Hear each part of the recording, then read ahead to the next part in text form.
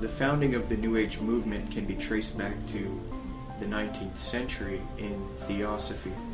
This is the group that largely popularized this belief that we are heading out of the age of Pisces and into the astrological age of Aquarius, which to them will be an age of unity of humanity, an age of enlightenment, a spiritual age of consciousness, so to speak.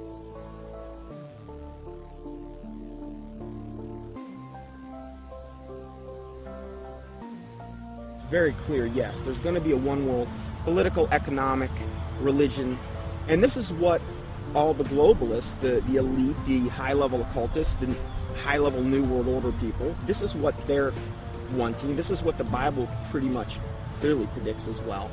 And this is obviously what we're moving to. The Freemason and One World Government advocate Zbigniew Brzezinski said the following in his work Between Two Ages, quote, The technotronic era involves the gradual appearance of a more controlled society. Such a society would be dominated by an elite, unrestrained by traditional values. Soon it will be possible to assert almost continuous surveillance over every citizen and maintain up-to-date complete files containing even the most personal information about the citizen.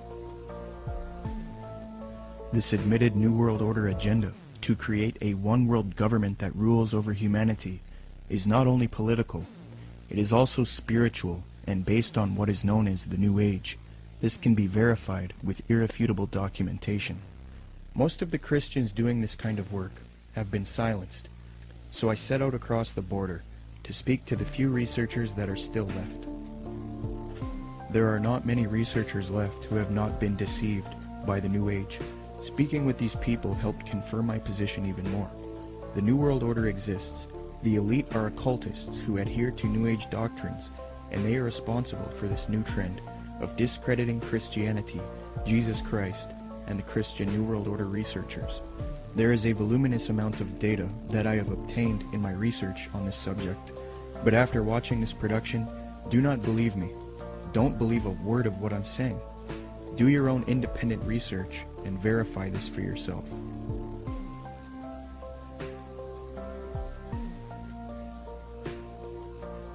The very word secrecy is repugnant in a free and open society. And we are, as a people, inherently and historically opposed to secret societies, to secret oaths, and to secret proceedings. For we are opposed around the world by a monolithic and ruthless conspiracy. Here's the way they look at it. Here's their metaphor. Adam and Eve were held prisoner in the Garden of Eden by an unjust, cruel, and vindictive God.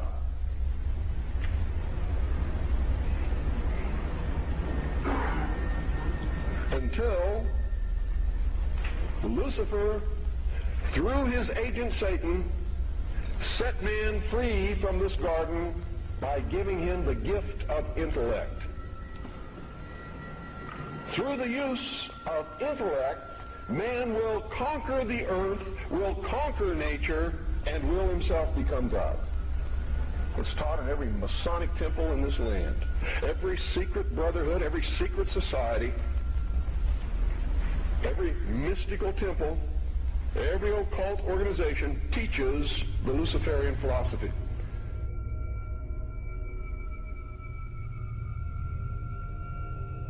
To understand the New World Order and the New Age worldview, we must go back into history and examine its origins. But first we must define our terms. By New Age, I am speaking about a worldview that has many facets and components, such as astrological and zodiacal beliefs in the New Age concept, channeling higher powers to achieve knowledge, meditation, the belief that all is one or forms of monism, the belief that we can attain godhood, esotericism, or in other words, reinterpreting ancient texts to find hidden meanings and unify all religious belief into one. The belief that we need a one-world system for the coming age of Aquarius. By New World Order, I am talking about a political agenda to create a one-world system, one-world government, one-world economy, unity of humanity into one organism, control over humanity, and submission of the masses. But today the largest countries of the world have agreed a global plan for recovery and reform. I think a new world order is emerging, and with it the foundations of a new and progressive era of international cooperation. To understand what is going on today with respect to the New World Order and the New Age movement, we must have recourse to the 19th century organization called the Theosophical Society. This organization in particular, among others, is largely responsible for the modern New Age movement and the political doctrine known as the New World Order. The founder of this organization was a woman named Helena Petrovna Blavatsky. Born August 12, 1831, Helena Blavatsky was very interested early in her life in the supernatural and the mythological. From 1848 to 1858, Blavatsky would travel the world to ascertain an understanding of the religious traditions of the world. She claimed to have traveled to South America, Egypt, Canada, France, Greece, Mexico, Tibet, India, Germany, and England during this time. It is said that during this travel she learned many mysteries, secrets, and occult knowledge from every walk of life. With all of this new esoteric information in her mind, she moved to New York in 1873. Then in 1875, she formed an occult organization called the Theosophical Society. She founded this society with two men, Colonel Henry Steel Olcott and William Quan Judge. According to Olcott, Theosophy already had thousands of members and branches all over the world by 1885. After New York, Blavatsky and Olcott established the Theosophical headquarters in India, and the membership roster grew increasingly as time went on. Blavatsky's influence came from her writings. Her first book was entitled Isis Unveiled, published in 1877. She started a magazine in 1887 called Lucifer Magazine. Her principal work, The Secret Doctrine, was then published in 1888. She then wrote The Key to Theosophy and The Voice of Silence. These works are now famous, and contained in these writings are the doctrines that helped mold the New Age movement to what it is today. It is said that part of Blavatsky's book, The Secret Doctrine, was channeled to her through an ascended master or highly evolved being called Kuthumi who spoke to her. Belief in these ascended masters who communicate to humanity is very crucial when studying the New Age. We will look at that doctrine later. The age concept that says humanity is leaving the age of Pisces and entering the golden era or age of Aquarius was popularized by Blavatsky, she taught. Theosophists, at any rate, some of them who understand the hidden meaning of the universally expected avatars, messiahs, Sosioshes, and Christs, know that it is no end of the world, but the consummation of the age, i.e. the close of a cycle, which is now fast approaching. Again, the messianic cycle of the man connected with Pisces. It is a cycle, historical, and not very long, but very occult, lasting about 2,155 solar years. It occurred 2410 and 255 BC, or when the equinox entered into the sign of Ram, and again into that of Pisces. When it enters in a few years the sign of Aquarius, psychologists will have some extra work to do, and the psychic idiosyncrasies of humanity will enter on a great change. These theosophists teach that Jesus was simply a representation of the age of Pisces and that he was an initiate into the mystery schools or cults of spiritual teachers and masters. They teach people that the new age of Aquarius is going to be that of a utopia where the world unites into a one world system, the exiting out of Jesus' age and the entering into a new world teacher's age. They say each age is accompanied by a great world teacher be it Buddha, Jesus, etc. So for the advent of the age of Aquarius, they claim a New World teacher will guide humanity into it. Blavatsky was reluctant to fuse these theosophic beliefs with politics, however. Nonetheless, she still advocated monism and a one-world brotherhood, or uniting, of mankind. In Blavatsky's book, The Key to Theosophy, she lists three main goals of theosophy universal brotherhood of humanity without distinction of race, color, or creed, to promote the study of the world's religions and to investigate the hidden mysteries of nature.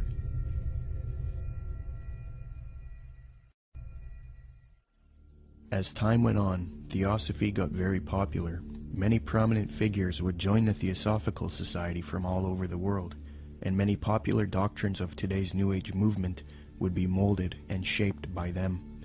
Theosophy is the first major New Age group, and they are largely responsible for many of the modern New Age beliefs, including the belief that Jesus represented the sun god. After studying the occult and the esoteric in depth, I have come to the conclusion that the Zeitgeist movement and the Zeitgeist films are based on Theosophy, Freemasonry, and the New Age. For those who are unfamiliar, in 2007, a man named Peter Joseph released a film called Zeitgeist. This film received millions of views on the internet and became very popular. Then in 2008, Zeitgeist Addendum, the sequel, came out. From there, Peter Joseph established the Zeitgeist movement. Whether Zeitgeist was a film that was intended by Peter Joseph or whoever was behind it to be what it ended up being, I don't know. But I can I can say that the message that's being uh, expressed by Zeitgeist is without a doubt the most clear depiction of the mystery school ideology um, and it's done in such a way to be, it's kind of what I've described as a sort of mystery schools for dummies. Um, it's, it's a way to get people that normally wouldn't be setting foot to any, uh, any various secret societies. It's a way to indoctrinate them and get them to believe in the same sort of elitist mindset uh, without having to go through any particular initiation. It's also uh, usually accompanied with an idea of pride. That is that, that is that. Um, the people believe that what they believe uh, is uh, only for a select few, and that sort of has this way of sticking with them, and that um, that nobody believes what I believe, and and so it's sort of this elitist mindset that comes with that as well. The first Zeitgeist film was divided into three sections. The second section was about 9 11 being an inside job. The third section was about the corruption of the Federal Reserve. I have no real issue with the last two sections, but since the release of the first Zeitgeist film, Peter Joseph, the creator, has distanced himself from the 9 11 issue altogether.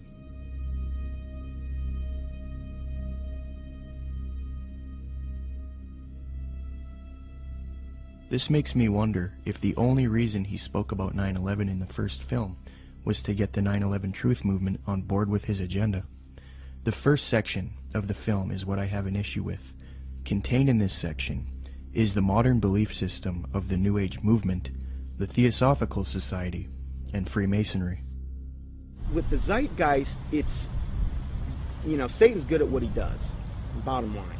And the first one, what they do is they, they come right out and uh, in the first segment, I think the, the first 38 minutes, they just go after Jesus Christ his deity, basically what they try to do is convince everyone that Jesus Christ is just a knockoff of Horus and a lot of the other pagan deities, and they try to draw all these parallels and similarities. These parallels and similarities have all been debunked by by Bible scholars and things. In fact, I think there's even a couple challenges up on the internet, the Zeitgeist Challenge, where they offer money if they can actually. So they've been debunked. I've done, oh my word, I don't know how many teachings debunking both both movies. But if somebody were to see that for the first time and not know any different, oh, hey, it sounds convincing, sounds, you know, this or that. And so what they've got to do is discredit the Word of God, the deity of Jesus Christ. As Theosophy grew, it produced influential figures such as Annie Wood Besant, born October 1st, 1847. She was a Marxist and a socialist. Besant was so inclined towards socialism that she defended it in public debates. One such debate was conducted between her and a man by the name of G.W. Foote, a secularist who supported republicanism. The debate was held at the Hall of Science on February 2nd, 9th, 16th, and 23rd, 1887, a four night debate series. The title of the debate was Is Socialism Sound? Angelique Richardson and Chris Willis from the University of London Institute for English Studies, when commenting on Besant's worldview, note, quote, the socialist feminist Annie Besant joined the Marxist-based Social Democrat Federation, SDF, in the 1880s. Annie Besant met the founder of Theosophy, Helena Blavatsky, in 1890, and she quickly read Blavatsky's material. Besant recorded her first acquaintance with Blavatsky. She wrote, quote, I was standing with my hand in her firm grip and looking for the first time in this life straight into the eyes of H.P.B. We rose to go, and for a moment veil lifted, and two brilliant, piercing eyes met mine, and with a yearning throb in the voice, Oh, my dear Mrs. Besant, if you would only come with us.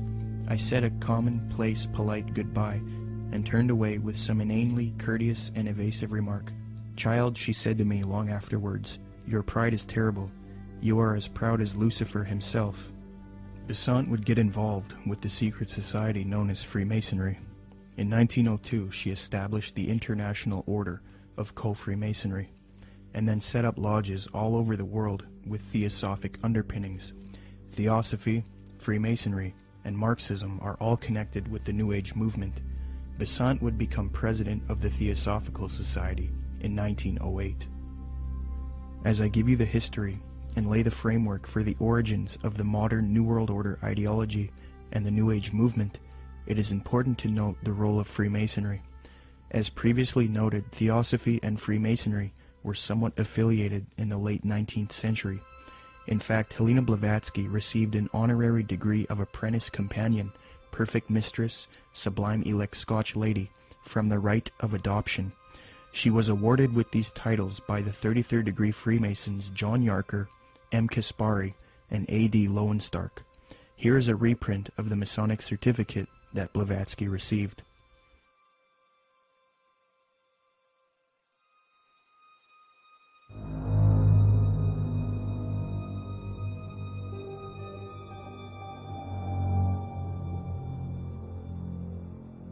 There are many different views on the origins of Freemasonry. I will present the one which I feel is the most evidenced and well documented. Modern speculative Freemasonry wasn't officially established until 1717 in London with the founding of the First Grand Lodge. Prior to that, there were Masonic lodges in the late 16th century. You first have operative masonry involving those who would work with stone and who were part of a stone guild that built cathedrals and buildings in the Middle Ages. Around the 17th century, these operative masons started accepting people into their craft who were not simply stoneworkers. Soon masonry was not simply limited to stoneworkers. They then later developed into modern speculative Freemasonry of today, which involves secret handshakes, codes, symbolism, mythology, and legendary. The earliest documentation of the word Freemason is in the calendar of the coroner's rolls of the City of London. This is dated 1300 1378 AD, edited by Reginald Sharpe and published in 1913. Commenting on the origins of Freemasonry, Harry Carr remarks, quote, It developed in Britain out of the building trades and fraternities, whose history goes back some 600 years in England. I do insist, however, that our present-day speculative Freemasonry is directly descended from the operative Masonry, whose beginnings we can trace back to the earliest record of organization among Masons in 1356. As far back as 1917, as modern Masonry was already 200 years old, people were recognizing the connection Freemasonry and Theosophy had. In the 1917 work Heresies Exposed, W. Host remarks, quote, Freemasonry viewed doctrinally is Theosophy. With respect to the previously mentioned Zeitgeist films and the Zeitgeist movement, I will demonstrate that after a thorough study into these teachings of Theosophy and Freemasonry, it becomes quite clear that this film and movement, which has captivated so many truth seekers, is nothing more than the externalization of Theosophy, Freemasonry, and the New Age to the public. This is important because if it turns out that Zeitgeist is leading people into Theosophical and Freemasonic ideologies, it means that rather than standing against the New World Order One World Government agenda, like the anti-New World Order movement is supposed to be doing, Truth seekers are actually associating themselves with ideologies and organizations that are connected to the New World Order, which I will also demonstrate. I will now qualify this hypothesis since I have laid the foundation for Theosophy and Freemasonry. Theosophy and Freemasonry. Theosophists and Freemasons, as part of their esoteric doctrine, taught that Jesus was the sun god, the S-U-N, in the sky, and that he was based on the age of Pisces within the zodiac. The Marxist theosophist Annie Besant taught her students, quote, Then the sun retrograded into Pisces at the time of the birth of Jesus Christ, the Pisces influence being shown by cures performed by stepping into pools of water. Christ choosing his first apostles from fishermen, unquote. Similarly, the founder of Theosophy, Helena Blavatsky, taught, quote, Ichthus, a fish. Some of his early disciples were fishermen. Pisces, a conventional shape for the fish, unquote. The notorious Freemason Manly Palmer Hall taught, quote, During the age of Pisces, the fish was the symbol of divinity, and the sun god fed the multitude with two small fishes. In another context, Blavatsky reinforces Theosophy's belief about Jesus, quote, For the salvation of the world, this was the sun, shorn of his golden rays, and crowned with blackened ones, symbolizing this loss as the thorns. Jesus and even Apollonius of Tyana were but epitomizers of the history of the sun. These doctrines are very sacred to Theosophists and Freemasons. The first section of the first film Zeitgeist externalizes these same Theosophic and Freemasonic beliefs, fringe views that historians and scholars dismiss. Zeitgeist repeats, quote, Jesus is the Son, the Son of God. Now Jesus is the figure who ushers in the age following Aries, the age of Pisces, unquote.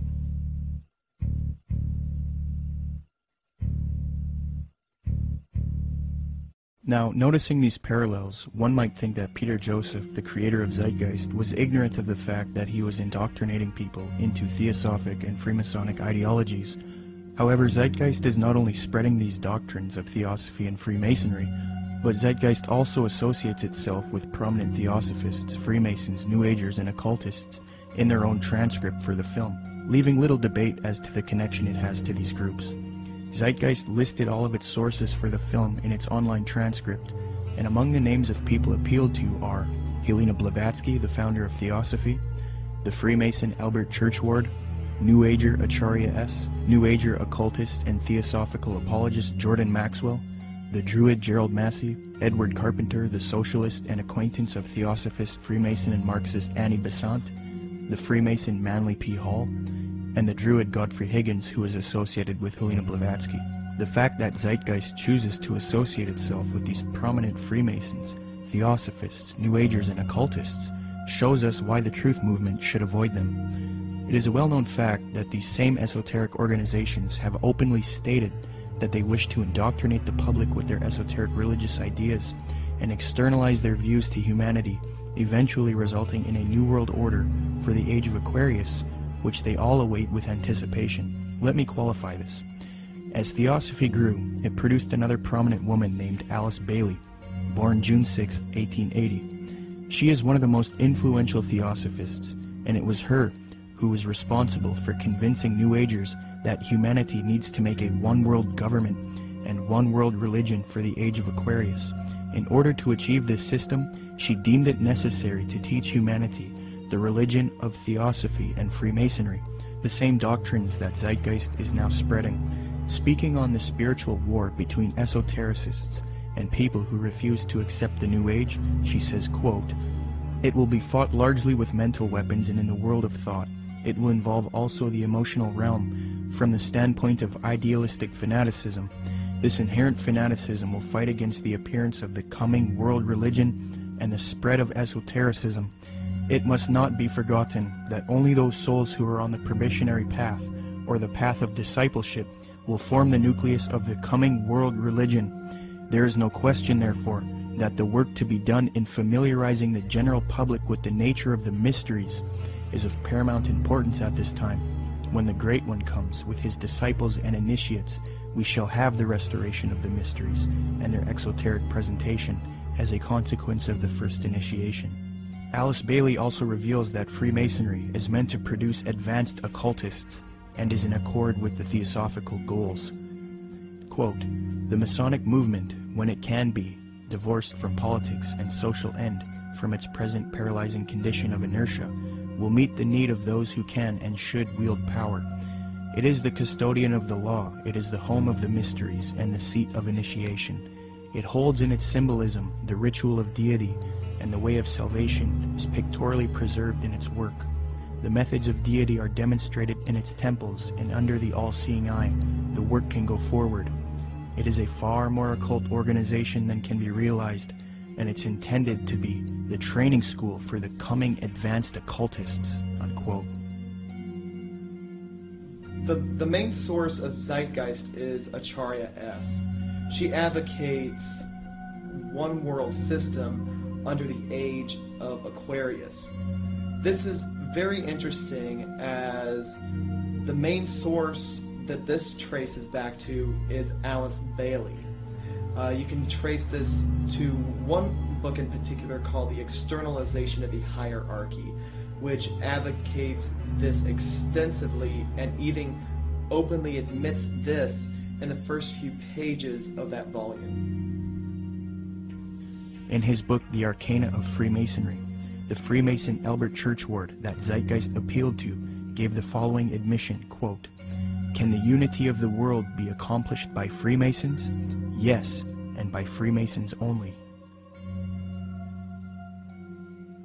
There is a common misconception about Freemasonry, and that is that many people believe it is merely a friendly fraternity where men meet up to network and socialize. This is partially true, but there are elements of Freemasonry that are not so innocent. The Freemasonic Society was infiltrated in the late 18th century by an organization called the Order of the Illuminati. There's a lot of fictional, embellished information about the Illuminati, but if you sift through all of the data, there are some very important key facts. All historians will grant that the Illuminati certainly existed in Bavaria, Germany, and that it was founded in 1776 by a man named Adam Weishaupt. This organization was a type of revolutionary organization that sought political and societal reform. The order grew and became very popular. It was then outlawed by the patriotic ruler of Bavaria, Duke Karl Theodor. He issued three edicts against the Illuminati, the third being in 1787. Illuminati writings were discovered after raids of castles and arrests of members. These writings were then translated from Old High German by two men contemporary with the Illuminati, Abbé Barruel and John Robison. The writings were published in their works Proofs of a Conspiracy and Memoirs Illustrating the History of Jacobinism. The writings revealed that the Illuminati wanted a one world system ruled by them, the overthrow of religion and the infiltration of Freemasonry to achieve this so that they could operate under another name and occupation. The founder of this order, Adam Weishaupt, stated, quote, Do you realize sufficiently what it means to rule, to rule in a secret society, not only over lesser or more important of the populace, but over the best of men, over men of all ranks, nations, and religions, to rule without external force, to unite them indissolubly, to breathe one spirit and soul into them, men distributed over all parts of the world. The prolific Freemasonic author and historian Albert Mackey reports, quote, To give the order a higher influence, Weishaupt connected it with the Masonic institution, after whose system of degrees in esoteric instruction and of secret modes of recognition it was organized. The order at first was very popular, and enrolled no less than 2,000 names upon its registers among whom were some of the most distinguished men of Germany. It extended rapidly into other countries, and its lodges were to be found in France, Belgium, Holland, Denmark, Sweden, Poland, Hungary, and Italy. The original design of Illuminism was undoubtedly the elevation of the human race, but it cannot be denied that in the process of time, abuses had crept into the institution, and that by the influence of unworthy men, the system became corrupted. So fused with Freemasonry in the 18th century was the doctrine of elitism and globalization, the overthrow of religion, namely Christianity. The question is, did the Illuminati cease to exist after it was outlawed in Bavaria, or did it live on? According to historians like Mackey and others, the Illuminati infiltrated Masonic lodges all over Europe before it was persecuted by the Bavarian government. So with that in mind, How could the Bavarian government stop this order if it was already all over Europe? The answer is they couldn't have. The Illuminati was too big, and thus it continued under Freemasonry. Continued under Freemasonry. The French historian Henry Martin reports, quote, Weishaupt proposed as the end of Illuminism the abolition of property, social authority, nationality, and the return of the human race to the happy state in which it formed only a single family, without artificial needs, without useless sciences, every father being priest and magistrate. President George Washington himself was convinced that the Illuminati existed after 1785, when it was outlawed in Bavaria. He corresponded with the Reverend named G.W. Snyder, voicing his concerns about the Illuminati. This was written 13 years after the Illuminati was outlawed in Bavaria. George Washington states, quote, I have heard much of the nefarious and dangerous plans and doctrines of the Illuminati. It was not my intention to doubt that the doctrines of the Illuminati and the principles of Jacobinism had not spread in the United States. On the contrary, no one is more truly satisfied of this fact than I am. The idea that I meant to convey was that I did not believe that the lodges of Freemasons in this country had, as societies, endeavored to propagate the diabolical tenets of the first or the pernicious principles of the latter if they are susceptible of separation, that individuals of them may have done it, or that the founder or instrument employed to found the democratic societies in the United States may have had these objects and actually had the separation of people from their government in view is too evident to be questioned. From President Washington, we learned that he believed the Illuminati was nefarious and dangerous. He had little doubt about the Illuminati spreading to America by 1798. He was truly satisfied, or in other words, convinced of this fact. He thought it was too early for whole Masonic lodges to be striving for Illuminati objectives, but he did believe individuals within American lodges were certainly doing so. He believed the founder or instrument used to found the democratic societies in the USA may have had Illuminati objectives in mind and that they had the separation of the people from their government in view. According to Washington, these things are too evident to be questioned. That same year, the president of Yale University, Timothy Dwight IV, spoke out against the Illuminati. Quote, the great and good ends proposed by the Illuminati as the ultimate objects of their union are the overthrow of religion, government, and human society, civil and domestic, Joseph Willard, the president of Harvard University, said in a speech in New Hampshire, quote, There is sufficient evidence that a number of societies of the Illuminati have been established in this land of gospel light and civil liberty, which were first organized from the Grand Society in France. They are doubtless secretly striving to undermine all our ancient institutions, civil and sacred. These societies are closely leagued with those of the same order in Europe.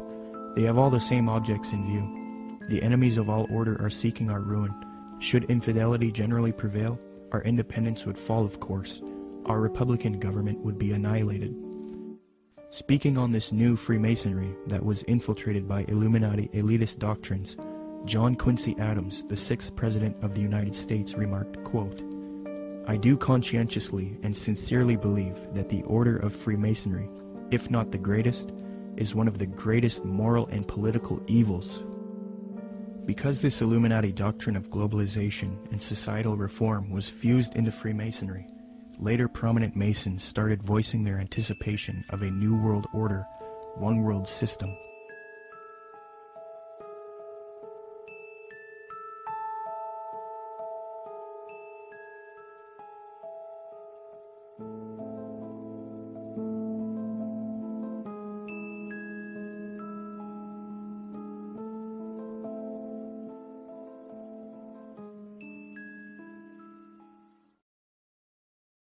Freemasonry is just one of many uh, ways to get people into the occult. It's it's but but even more than that, it's um, able to get them into a really sort of packaged way to produce people that can be used in a more mechanical way in the system. That is, that they can be uh, put into places of power to turn a lot of the gears and things like that.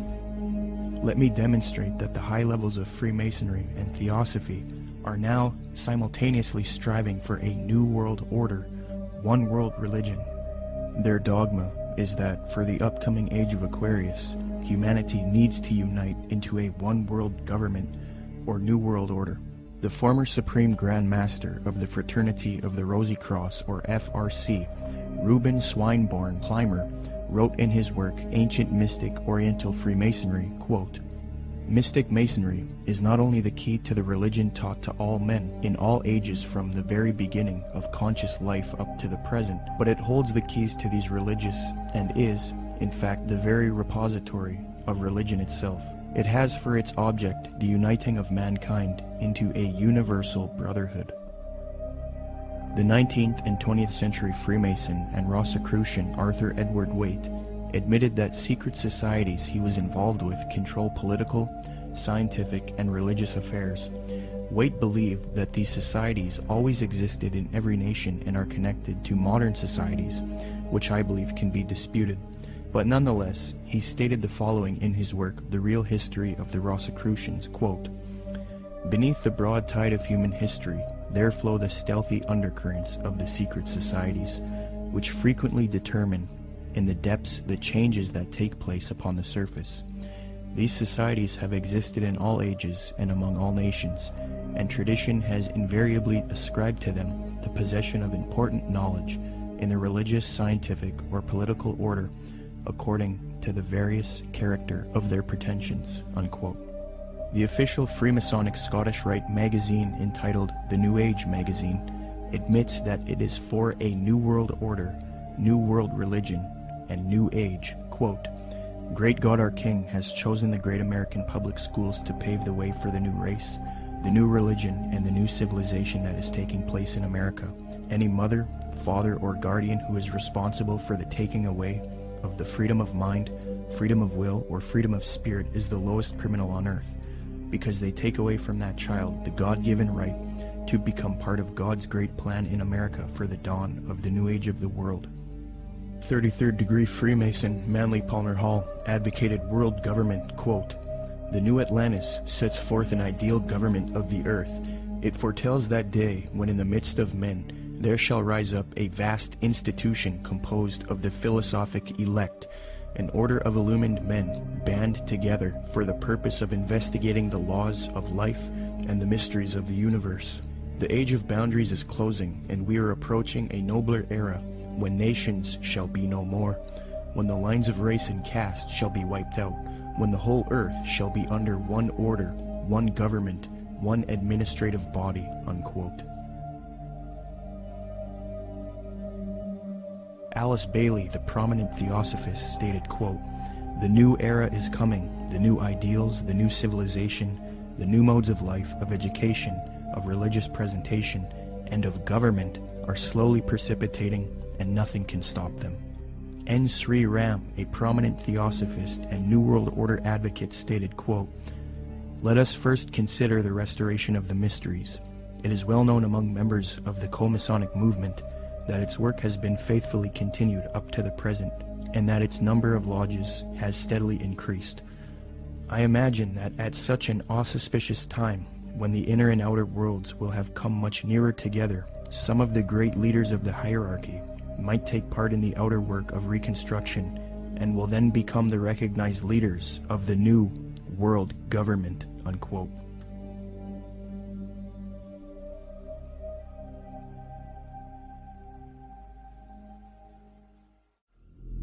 Now, this was written by Manly P. Hall.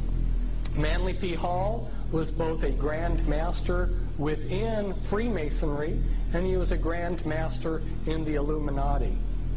And he says, all of sincere heart will find consolation in the conviction that powers beyond and above human corruption continue to administer the destiny of the globe. It would be a mistake to confuse the governing bodies with the various sects which pretend to authority but give no indication or proof that they can manage efficiently even their own affairs. Now, Manly P. Hall knows who he's referring to here because he's part of that secret body. But of course, he speaks positively of it the Zeitgeist films and movement have more ties to Theosophy and Freemasonry. At just two minutes into the second Zeitgeist film, Zeitgeist Addendum, a lecture of a man by the name of Jiddu Krishnamurti is played. Jiddu spent much of his childhood in southern India. Jiddu's father was a member of the Theosophical Society in southern India. When Jiddu was a boy, he was discovered by the theosophist C.W. Leadbeater. Leadbeater was a man who was brought up on charges of immoral behavior with young boys, yet he still had a close relationship with the president of Theosophy, Annie Besant. Leadbeater and Besant would adopt Jiddu and take him to England. They raised him and brainwashed him into the Theosophic esoteric teachings. They were convinced that he was their return of the Christ and that he would lead humanity into the age of Aquarius as the world teacher for the New Age. Jiddu thought he was the Christ for many years due to being brainwashed, and he would give lectures speaking with authority on esoteric and occult matters. However, Jiddu became reluctant and after many years decided not to be the Christ of Theosophy. He was a false Christ, and he later departed from Theosophy. He did retain connection with Theosophists and devoted the later part of his life to giving lectures on New Age spirituality. He authored many books on the subject as well. The fact that Zeitgeist would include this man in their film, knowing his deep connection with Theosophy, should demonstrate to everyone the New Age esoteric nature of the Zeitgeist films and movement. One of the main claims of Zeitgeist is that the gospel story of Jesus is derived from the stories of previous pagan gods. They attempt to draw parallels between Jesus and these other gods to try to show that the story of Jesus is just a copycat story. Subsequently, these claims have all been debunked by scholars and historians. Zeitgeist appealed to Acharya S. for this theory. These claims can be found in her book, The Christ Conspiracy. Interestingly, it was the founder of Theosophy, Helena Blavatsky, and the Marxist theosophist Annie Besant who popularized these types of arguments and inserted them into the New Age movement. The emphasis is removing uniqueness from Jesus Christ and Christianity because to the New Ager, humanity is leaving Jesus' age of Pisces, which they believe is now evil. According to them, many people are still stuck believing in Christianity, holding the world back from their new spirituality. So what better way to fix this problem than to discredit the avatar of the previous Piscean age, Jesus Christ? They will even go as far as to say Jesus never existed in order to lead people away from Christianity. Thus the masses are now on board with the new Aquarian world order. Even modern New Agers around today will utilize this deception. New Age spokesman and disciple of Alice Bailey in Theosophy, Benjamin Creme states, quote, The five major initiations which take one to liberation have their symbolic enactment in the life of Jesus. That is what the gospel story is really about. It is a very ancient story and has been presented to mankind again and again in different forms long before the time of Jesus. Unquote. When one compares Acharya S.'s book The Christ Conspiracy to Helena Blavatsky's book Isis Unveiled Volume 2, it becomes quite clear where Acharya got much of her material. For extensive rebuttals to this copycat thesis, see the following books, videos, and articles. The three things that Zeitgeist adopts from Theosophy and Freemasonry with respect to theology are 1. The belief that the story of Jesus was copied from other religions, 2. That Jesus is a representation of the sun, and 3. That Jesus ushered in the age of Pisces. It makes sense why Theosophists would spread these views, because they want a world system for the age of Aquarius, and in discrediting Christianity and connecting Jesus to astrology, they can get apostate Christians on board. But why then does Zeitgeist spread this propaganda? Interestingly, the creator of Zeitgeist, Peter Joseph, has wanted a world system or utopia paradise on earth since the release of the first Zeitgeist film. And as far as the spiritual aspect of life, you know, we're all pure spirituality. Of course there's something outside of understanding because we're only, we're just a fragment inside this larger whole. I end Zeitgeist with a very positive note. We're talking about the the consciousness, the whole consciousness, because you can scientifically orient yourself and, and even more importantly, spiritually orient, orient yourself into a collective consciousness to realize that we're all one organism. And the moment people stop dividing themselves up and generating religious division, political division, the moment they stop, people stop fighting amongst themselves, is the moment paradise will dawn. Similarly, Zeitgeist's main source, Acharya S., has advocated the New Age of Aquarius that the elitist Theosophists and Freemasons await in her 1999 work, The Christ Conspiracy, quote, But the future is now, and the maneuvers are being unveiled. As far as Christianity's role in this new age, Carpenter states, quote, Christianity, therefore, as I say, must either now come frankly forward and acknowledge its parentage from the great order of the past, seek to rehabilitate that, and carry mankind one step forward in the path of evolution, or else it must perish. There is no alternative. Despite the vilification of the so-called New Age movement, the fact is that we are entering into a new age. The age referred to in the gospel tale is that of Pisces, and through contrivance and duplicity, coercion and slaughter, the fish god Jesus, the Piscean solar avatar, has indeed been with us, but now it is the close of the age, and his time is over. As Hancock says, we live today in an astrological no man's land, at the end of the age of Pisces, on the threshold of the new age of Aquarius. Traditionally, these times of transition between one age and the next have been regarded as ill-omened. Ill-omened verily as the ongoing destruction of the earth and the endless warfare over ideology will indeed produce the Armageddon so long awaited and planned by those who cannot live for today but must look towards an afterlife. By realizing the cultural unity revealed behind the Christ conspiracy, however, humanity can pull together and prevent this fall to create a better world. 75 years before Zeitgeist's main source Acharya S. penned that admission, the former president of Theosophy, Annie Besant, wrote something almost exactly the same, quote, The equinox will reach the sign of Aquarius, coinciding the great cycle of influence. We can indeed hope to put a complete end to all the influence of the past cycle, with its tyranny, slavery, war, and cruelty. This is one of the great transitional epochs, and the karma before humanity as a whole, and to every group in particular, is to reform itself from slavery, female subjection, war, and cruelty, and establish a civilization based on humanness and interest in spiritual matters. New Age author Gail Fairfield explains what is expected for the supposed upcoming age of Aquarius. She states, quote, The sign of Aquarius is the sign of focused concepts. It concentrates intently on developing its ideas and then applies them to the betterment of humankind. It has talent for rapidly correlating all the information available into a political, ethical, spiritual, technological system. Aquarius creates optimal features for individuals and for humanity because it needs alternatives, possibilities, and something to move towards. Overall, Aquarius is a reformer and visionary working to create its utopia. Unquote. Isn't it interesting that right after Zeitgeist promoted the Aquarian New Age concepts in the first Zeitgeist film, the second film, Zeitgeist Addendum, then goes on to convince its followers to strive for a similar Aquarian one world system, New World Order called the Venus Project. Indeed, the solution offered by the film Zeitgeist Addendum is that humanity needs to unite into the very same thing that Theosophy and Freemasonry wants it to unite into a one world universal esoteric brotherhood of humanity, a new world order. I think that the coming new system that the occultists and speak of um, is it's really crucial to understand that what they're talking about is not going to look like what we think the new world order's control grid will look like.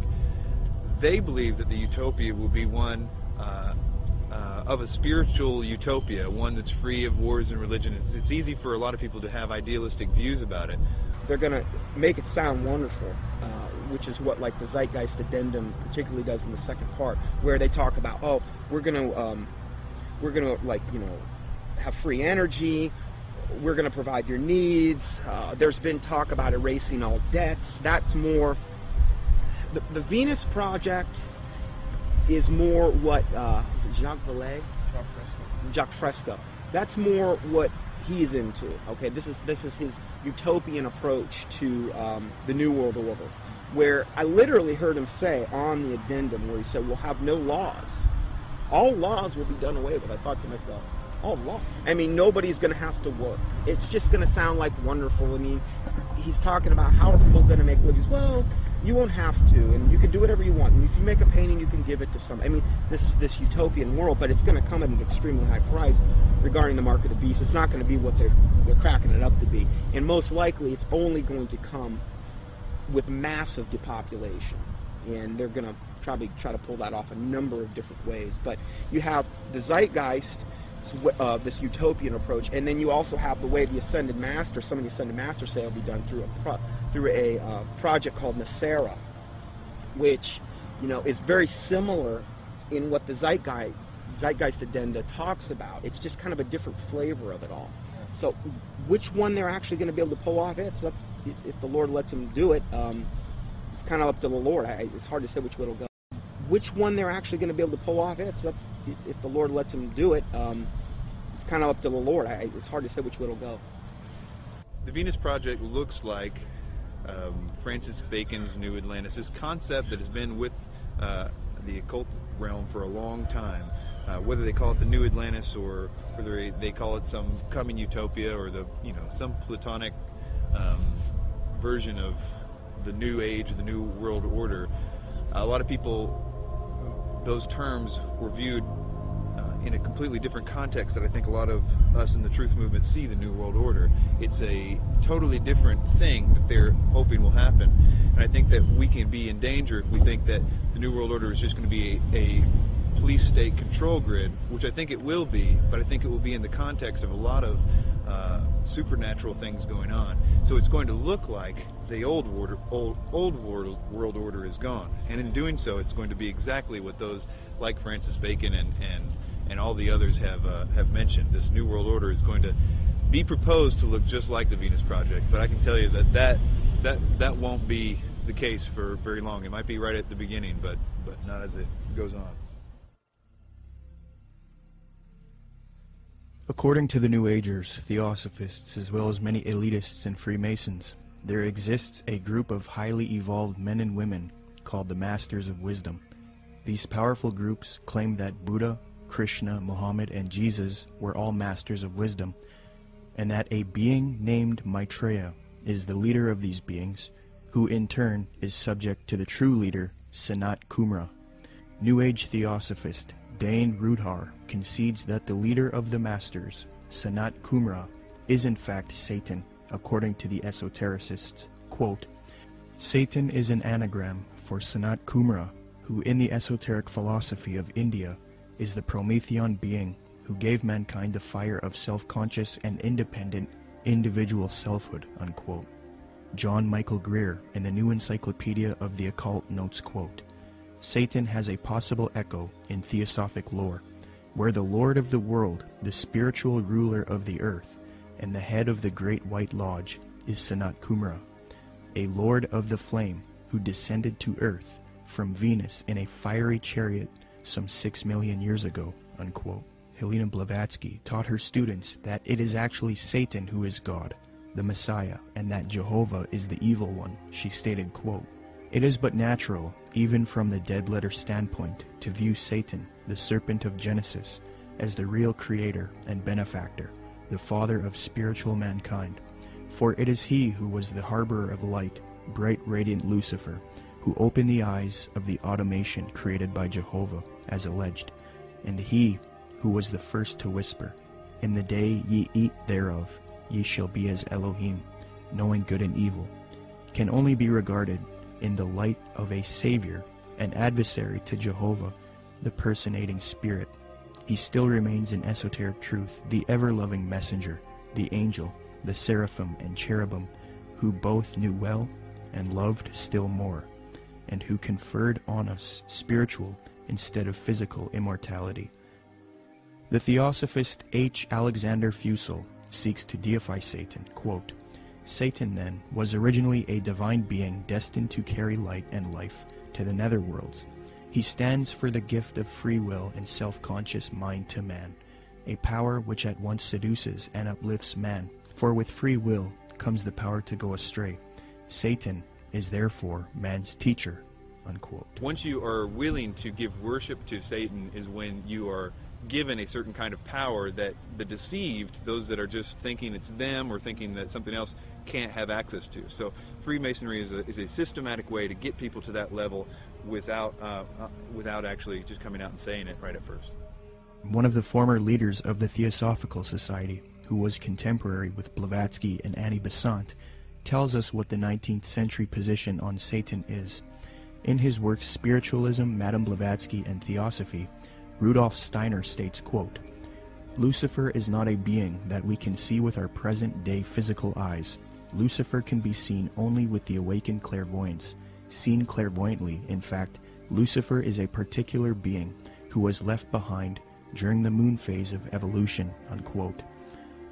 N. Sri Ram, who often gave lectures at the United Nations, a major theosophist and writer for Lucifer magazine, clarifies, quote, The adversary, or Satan, is no other than Lucifer, the light bearer, the bright morning star. He is the initiator, awakening the divine faculties of intellect on man. He is the king of the fallen angels, spirits from higher spheres, who descended among primitive mankind of the third race to develop in man and endow him with his self-conscious mind, or manas, unquote. Theosophy teaches that Satan or Lucifer is actually a divine being who saves humankind and brings him consciousness. Many modern influential New Agers who are deceived by Theosophy repeat the same theme. David Spangler admits that Lucifer is a being that New Agers honor, and the light of Lucifer is the light of God. Quote, the true light of Lucifer cannot be seen through sorrow, through darkness, through rejection. The true light of this great being can only be recognized when one's own eyes can see with the light of the Christ, the light of the inner sun. Lucifer works within each of us, trying to bring us to wholeness. And as we move into a new age, which is the age of man's wholeness, each of us, in some way, is brought to that point which I term the Luciferic initiation, the particular doorway through which the individual must pass if he is to come fully into the presence of his light and his wholeness. Lucifer comes to give us the final gift of wholeness. If we accept it, then he is free, and we are free. That is the Luciferic initiation. It is one that many people now, and in the days ahead, will be facing, for it is an initiation into the new age. It is an initiation of leaving the past and moving into the new, shedding our guilts and fears, our anxieties, our needs, our temptations, and becoming whole and at peace, because we have recognized our inner light and the light that enfolds us, the light of God. Unquote. So indeed the Luciferian doctrine is fused into the New Age movement due to Theosophy. Along with this doctrine is the belief that because of Satan, man is now thinking he will evolve, conquer the world, conquer nature, and become a god. The Freemason W. L. Wilmshurst bolstered the fact that Freemasonry is aimed at creating God men. The purpose of initiation is attaining godhood, he states, quote, The height of the lodge, even as high as the heavens, implies the range of consciousness possible to us. When we have developed our potentialities to the full is infinite. Man who has sprung from the earth and developed through the lower kingdoms of nature to his present rational state has yet to complete his evolution by becoming a godlike being and unifying his consciousness with the omniscient to promote which is and always has been the sole aim and purpose of all initiation. Unquote. Danny and Englewood, you're on the air. Go ahead. Yeah, um, you know, you're going to take this the wrong way, Peter J., director of uh, Zeitgeist, but uh, what you just said sounds exactly like Satanism. Not saying that you are satanic. I don't believe in Satanism. You, if you want you to use you know that what, word, you know what Satanism that's your own, that's you your know own what idea. Satanism is? Atheists. People who do not believe in a God. People who believe that man is a God. That's Yeah, that's Satanism correct. is. You are God. Okay, then you are a Satanist. You are God. You are God. You are God.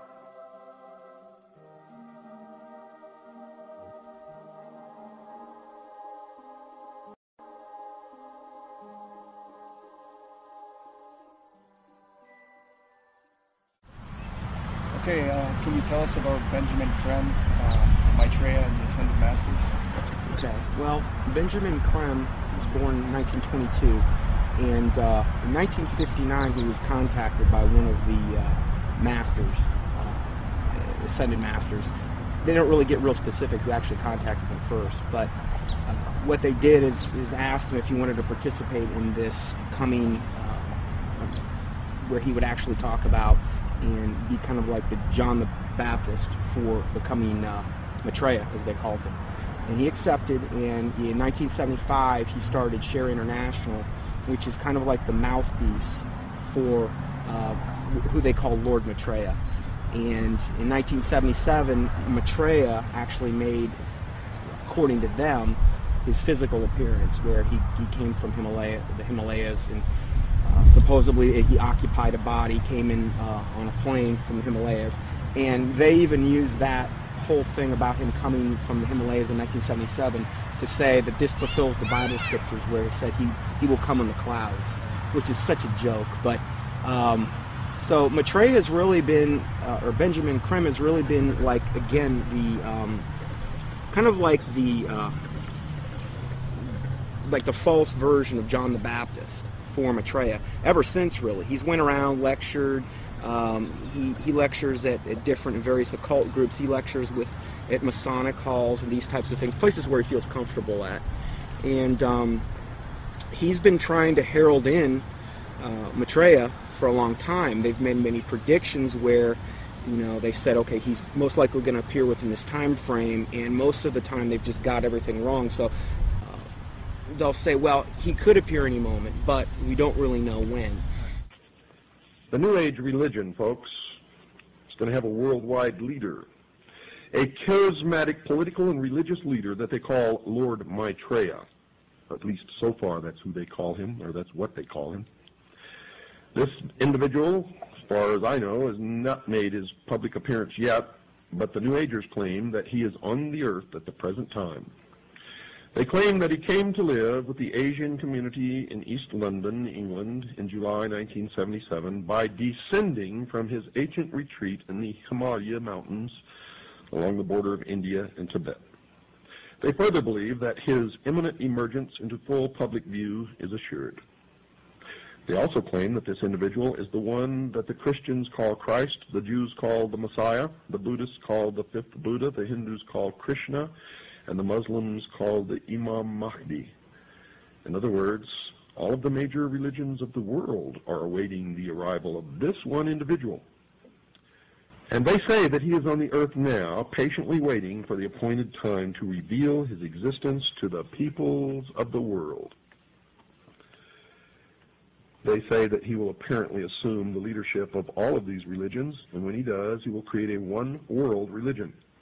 The New Agers have written that in the esoteric tradition previously defined as being intended for or understood by only a choose, chosen few as an inner group of disciples or initiates, in other words, the esoteric means hidden. They claim that the word Christ is not the name of an individual, but the name of an office or function within the spiritual hierarchy of masters. They claim that the masters are a group of perfected men who have guided human evolution from behind the scenes for centuries, and they believe that this Lord Maitreya is that Christ. Now, Manly P. Hall has written of this individual by identifying him as, quote, the way, the truth, and the life, which coming to every life redeems all who accept it, unquote. Since Jiddu Krishnamurti, featured in Zeitgeist Addendum, failed as the world teacher responsible for ushering in the Age of Aquarius one world system, Theosophists, Freemasons, and occultists have been waiting for their world teacher since then. Well, on January 9, 1959, a student of Alice Bailey and Blavatsky, who was already familiar with the doctrine of the Ascended Masters, Benjamin Creme, would come into contact with powerful forces who would appoint him to introduce Maitreya, the world teacher, to humanity. Creme's first experience is as follows. On January 3, 1959, Creme became possessed by an energy, and a message from an outside force said to him, Go to Blackfriars Bridge, south side, Blackheath side, on January 9th, 9.30 p.m. So on January 9th, 1959, Benjamin Creme followed these instructions and crossed Blackfriars Bridge in London, walking to the south side. There was no one about. It was deserted. There was a car waiting at the far end of the bridge. He walked beside the car and looked inside of it. There were some people in it who he did not know, but one of them was a man who told him he had been receiving messages from the Ascended Masters. From there, Creme started receiving messages again from this force, who he now believed were these Ascended Masters that Theosophy invented. This entity told Creme to pull out his tape recorder. It began giving Creme long dictations, which he repeated into the tape recorder. The entity said, Now our master Maitreya himself has something important to tell you. Creme then claimed to be overshadowed by Maitreya, this leader of the Ascended Masters. In a sense, he was possessed by Maitreya. Creme claims that the experience was that of total identification with everything and everybody in the world, a kind of universal experience such as he had never felt. He was filled with a foreign tremendous energy. Creme claimed to have seen a vision of himself in the future, as well as Maitreya, the world teacher, who ushers in the age of Aquarius, one world system. Later he was instructed that he would help introduce Maitreya to the world. Since then, Creme started an organization called Share International. They have a website as well. It is aimed at promoting Maitreya and the teachings of Theosophy and the New Age. Creme admitted that he was influenced by Helena Blavatsky and Alice Bailey. Quote, to many today, this awareness includes the recognition of higher states of consciousness attained by those who make up the emerging spiritual kingdom, the masters and initiates of the world. Their existence was first revealed in modern time by H. P. Blavatsky, co-founder of the Theosophical Society, as long ago as 1875. A more detailed communication about the masters and their work was given by Alice A. Bailey between 1919 and 1949. In her book The Externalization of the Hierarchy, she revealed the existence of a planned return to physical plane work and activity by this group of enlightened men, which return, I submit, has already begun. I think that what Blavatsky wrote down, even by her own admission, was not written by uh, a ascended master, and I don't think that ascended masters exist. She was being deceived, regardless of what we think, we have to we have to at least believe her and the others involved in the high levels of the theosophic movement that what they got, the core levels, their secret doctrine was given to them by off-world entities. The the research becomes who are these off-world entities? And this is the other part of that research. Is what those entities said true or not? I understand that it's very poetic. It's very easy and seductive to uh, believe because when you read some of her stuff or some of the other stuff that's written directly from demonic entities, it's extremely seductive. We must understand that these beings are thousands of years older than us and they're very smart. We're no match for them. The most the smartest of us are no match for the intellect of them, but their des- desire is to deceive us. So we are outmatched in this regard. So that's why it's seductive when we read it. Um, the most current thing that they're doing right now has been since last December this supposed uh, star sign, which is really, again, they just try to knock off from the Bible as much as they possibly can. This is like a knockoff of the Star of uh, Bethlehem in the Bible. And in that, they're saying that there's going to be these, what they call star-like luminaries in the sky. Four of them that are in different quadrants of the earth. Um, they're five times the size of a football field, according to them. And people are seeing these things, and they've got a whole up on shareinternational.org. They've got a whole um, section devoted to this, where people are sending in pictures. There's stars, and and what they are spaceships. That's what they're that's what they're uh, admitting to at this point. And more and more people are seeing them. But evidently, this is going to be the thing that really, really heralds in Maitreya. Up until they have the day of declaration when he makes his public emergence. And this is supposed to be on the uh, major media? Yes, yes. When he makes his uh, big debut, uh, what they've said is they've already secured an interview with a major U.S. Uh, TV network, and then one in Japan, I believe, as well. Uh, so during this time, he's going to, uh, the day of declaration, supposedly he's going to basically telepathically communicate with masses and masses of people. They supposedly will hear them in their own language. They'll be able to comprehend him. Supposedly they'll feel this infinite love. Uh, and um, there will be many also supposed miraculous healings taking place around the world at the same time. And most likely, this day of declaration will come on the heels of some or multiple cataclysmic events, most likely the first thing being an economic meltdown, which is what he's predicted back, way back from the 90s. And what does Maitreya uh, promise? What does he want to achieve? What are his goals? Well, you know, if you look at the word Share International, which is the name of the site, you know, he, if you if you read what he says, um, he wants the world resource sharing of the world. He doesn't want there to be any, uh, supposedly, any uh, inequalities of the world. You know, you look at what he says that he is. He says that he is the Christ that the Christians are expecting, uh, the Messiah the Jews are expecting, the fifth Buddha the Buddhas are the Buddhists are expecting, uh, Krishna the Hindus are expecting, and Imam Mahdi that the Muslims. So he's kind of everything rolled up into one. He's he's he's like the total package. He's going to give and be able to unite and put all of the various and different religious systems, the major religious systems, all on the same page. And the Bible says that when the Antichrist comes, he's going to come with all lying power, signs, and wonders. And he's going to see the deceive the whole world by which the miracles that he's going to do. So he's taking credit for every single miracle that's going on right now, whether it's a Marian apparition, whether which would be to him the ascended master Mary, because he's got a whole band of masters that he's going to be coming with. And so he's he's taking credit for everything. Every miracle that you're seeing going on in the world right now, whether it's a Catholic miracle, whether it's some type of energizing of water, whether it's some bleeding statue, whether it's, you know, some Hindu miracle, crosses of light, they've seen those in different and various churches. He's taking credit for all of that. And I think what we're going to see and what, what he says we're going to see, in fact, I just read this in their last report. Benjamin Creme said also with the UFO sightings, he says they're going to increase up until the time when he makes his emergence. And he is going to be, he's going to come on the scene. He's going to be able to explain all of this and try to put everything, everybody on the same page. My personal belief is that the Antichrist or the world teacher will um, seem to actually be Christ in the sense that he will seem to destroy uh, some old system and some old bad leader. And I think that it will somehow be tied to, um, I don't know, I, I, this is my guess, but it will somehow be tied to some sort of fake or uh, alien invasion or presence of some sort.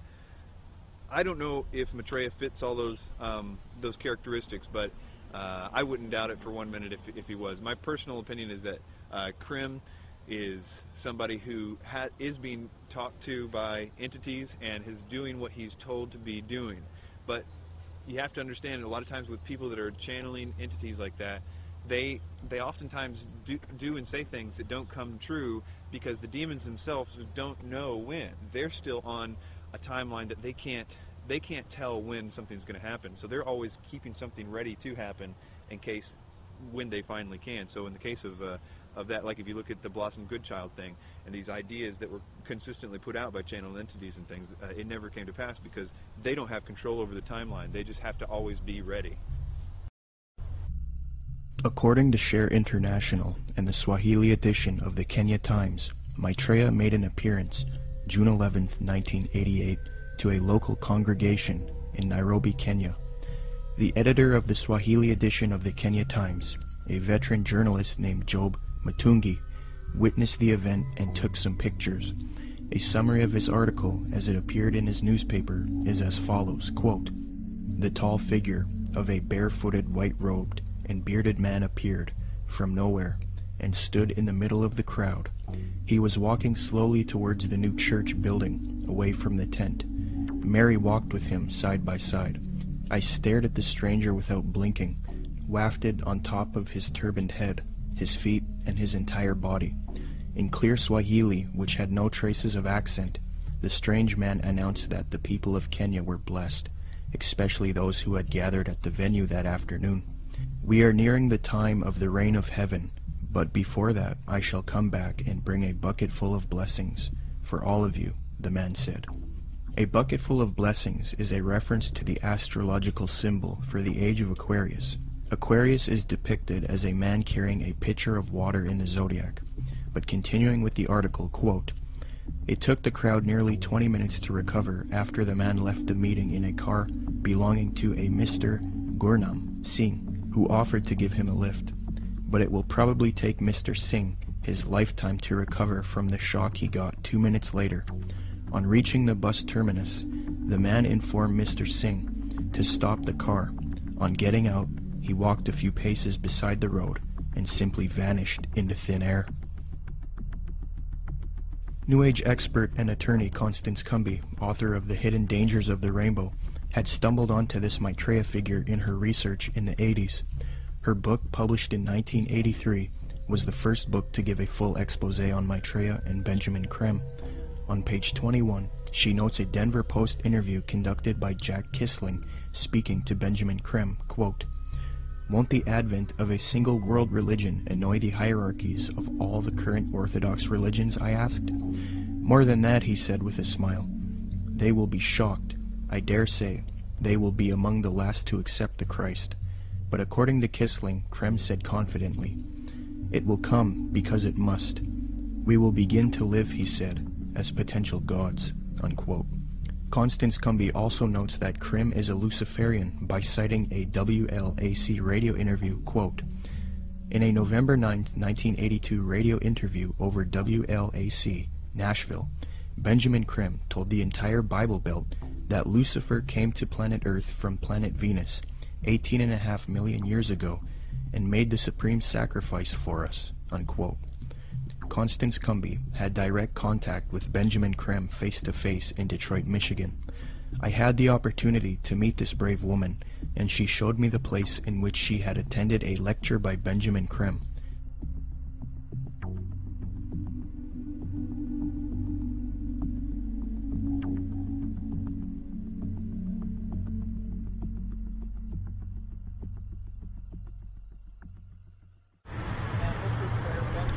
Creme. spoke to a packed crowd November 4th, 1981. And Bread for the World was out there, had tables, Oxfam, every group you could think of was sitting out there. They were passing out brochures. The brochure is reproduced in both of my books. Benjamin Creme came in he opened, he gave some kind of a hand signal that looked something like that. And I thought at first he was waving to somebody, but the crowd appeared to flip into a trance. And then he started speaking and he was rotating his head. I can't even come close to it was as close to a 180 degree spin of a head as I've ever seen. How his head didn't snap off, I'll never know. And then he started talking and laying out what they were doing, and the crowd was thoroughly under several degrees of hypnosis. I knew many people in that crowd the, from political circles and social circles in Detroit for many years. And I talked to some of them, and the common denominator was they had all been through one kind of mind control course or another, one type of New Age class or another. I talked to a fellow behind me, Al Banks, and I said he was a film producer doing much of what you're doing now.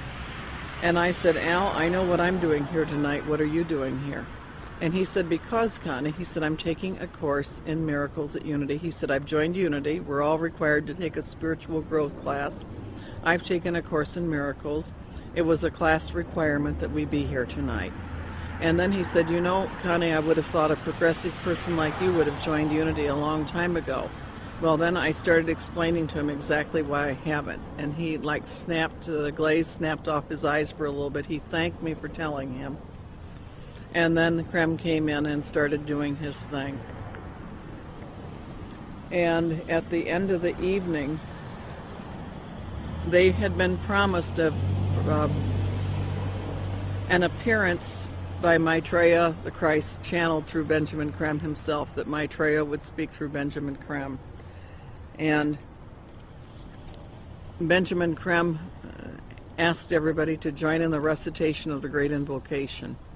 I told the woman standing next to me, I will not say the Great Invocation with you. I will say my own prayer.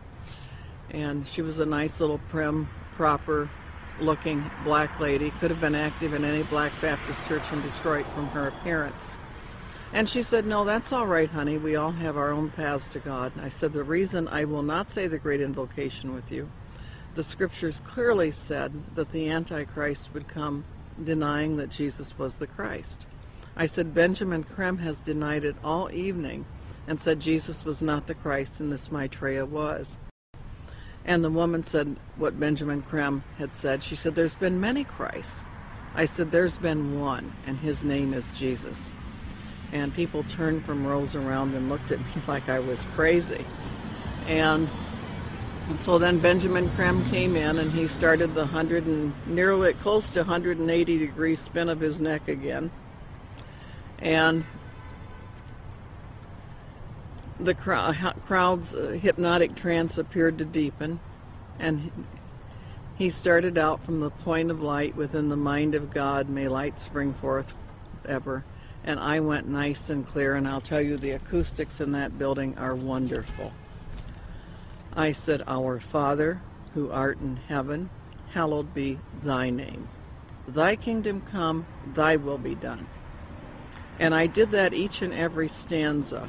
And they got down to the last part, said, May light and love and power fulfill the plan on earth, and may it seal the door where evil dwells. And I said, nice and loud and clear, I said, May Jesus Christ return to earth and end the evil present in this room tonight. Well, the funniest thing happened, or may I say, it did not happen. Benjamin Creme stood there. He waited, he waited, and he waited. He clearly was watching for something to come over him. And it didn't happen. And he finally said to the crowd, he said, That will be all. You are dismissed. And of course, everybody was extremely disappointed. And we went to the door, and I went walking out. I had brought some co spies with me. They were kind of chickening out at that point and waiting for me. They were afraid of being ripped limb to limb. And I stood down there, and a number of those people knew me, and they were just furious with me. And I stood there calm, cool, and collected, and I said, Well, I said, if you're Maitreya the Christ, Betreya the Christ, or whatever his name's supposed to be, for everything he's cracked up to be, one lousy Christian in there saying the Lord's Prayer shouldn't have stopped him. And Benjamin Creme has never come back to Detroit although that was probably the most successful night financially and crowd wise that he'd had in the United States. The following is a video taken in Iraq at a Shia Muslim festival. Share International and Benjamin Creme have put out that this is indeed an appearance of Maitreya, the supposed world teacher for the Age of Aquarius, One World Government. Commenting on this video, Share International reports, quote, Imam Mahdi, Unexpected Appearance, proclaims the title of a video posted on YouTube. A miraculous figure of glowing brilliant white light appeared on a video filmed in Karbala, Iraq, on the night of Ashura, 6 January 2008. This Shia Muslim ceremony commemorates the martyrdom of the grandson of the Prophet, Hussein, whose tomb is in Karbala. Benjamin Creme's master confirms that the light figure is Maitreya, Imam Mahdi to the Muslims, and that his dance-like movements with a sword remind us of his coming with the sword of cleavage. Could this be real, or is it a hoax? Is Maitreya real, or is he a hoax? Whatever the case may be, it turns out that it is not only New Agers and occultists who believe in this Maitreya, but politicians, presidents, and elitists also follow Maitreya. Wayne Peterson, a retired American diplomat, and admitted supporter of Maitreya with connections to the Pentagon and the United Nations, stated the following about Mikhail Gorbachev and the White House in a Vision magazine interview, June 20th, 2000. Reporter Kendall Klug asks, I believe Mikhail Gorbachev has publicly stated his belief of the existence of Maitreya. Do you know if this is true? Wayne Peterson answers, I have one little story I could tell you about Gorbachev. A friend of mine who has worked with the World Bank went to the Heads of State conference in Europe and gave a speech where he borrowed many of Maitreya's ideas for economic reform out of a book by Benjamin Creme that I had given him. He told me that he had read the book on his flight to Europe and realized that his keynote address to these world officials, especially presidents and prime ministers, it was a very high-level meeting, was going to be very boring, with many having heard similar sentiments over and over so he thought he would throw in some of Maitreya's ideas into the speech. The country he was in had a reigning monarch who invited him to lunch the next day. When he showed up for lunch, there were 16 to 20 people there, including Mr. Gorbachev. The monarch of this country said to my friend, I suppose you're wondering why we invited you here today. Well, we are all curious about where you got those ideas for your speech, which you presented yesterday. He said that my friend Wayne gave me a book written by Benjamin Creme about Maitreya's mission. Immediately they nodded their heads. We thought so, was the apparent response. That's why we invited you here. We all know of Maitreya, and we're doing what we can for him. But we are not able to say anything publicly because we are world leaders. We each have our own public to deal with. Only one person there stood up and said that they could use his name to legitimize these sightings, and that was Mikhail Gorbachev. He was the only man in the room who would say, use my name if you want. The reporter asks, do you think President Clinton has had an experience with Maitreya? Wayne Peterson, I don't know if President Clinton has. I believe that former President Bush has. We used to have transmission meditation groups that Maitreya had asked us to do around Washington, D.C. People who were interested in Maitreya and the reappearance story would get together once a week in Georgetown, in the home of President Bush's main counselor at the White House. President Bush came over to this house for dinner one night, and the hostess was in the dining room as President Bush asked her, What do you think? I'm running against Clinton in this election. Am I going to win? She said, No, Mr. President, you are not. Maitreya has already said that you are going to lose to Clinton. Bush never challenged her, but merely said, Yeah, yeah. He didn't ask who Maitreya was. He was very quiet, and then said, I think I've got to go now. Benjamin Creme has said many times that he had heard from one of Maitreya's associates that Maitreya had appeared to Bush and that they had a discussion in the White House. So that incident with my meditation group seemed to confirm that Bush did in fact know of Maitreya. I do know people in the White House have been visited by Maitreya many times, and the people I'm talking I've seen on the front page of the Washington Post standing next to the president. In a December 19, 2008 London Telegraph article, Major Media Organization, Mick Brown praises Maitreya and Benjamin Creme stating, quote, This week has come encouraging news for anyone with an interest in signs and wonders, or desperate for a chink of light in the prevailing gloom, which probably means most of us. A Savior is at hand.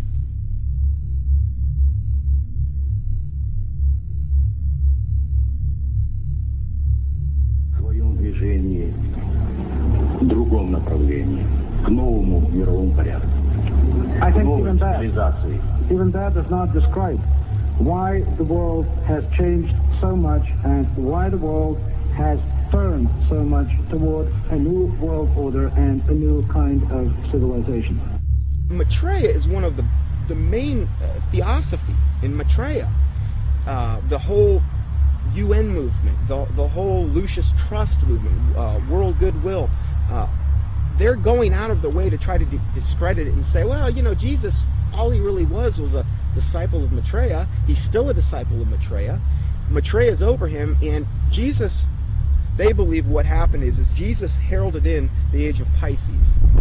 Now what we're going to be doing is now we need to herald in the age of Aquarius. This is where the New World Order comes in, and this is what Maitreya is going to bring. So we're going to de-emphasize Jesus, and we're going to move over to Maitreya. Jesus is just a disciple of um, Maitreya anyway, according to them.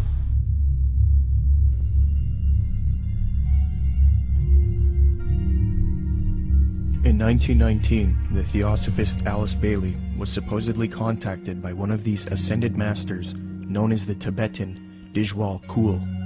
From 1919 to 1949, Bailey would write 24 books, and according to her, she would do automatic writing, a new age way of channeling and letting the force write for you.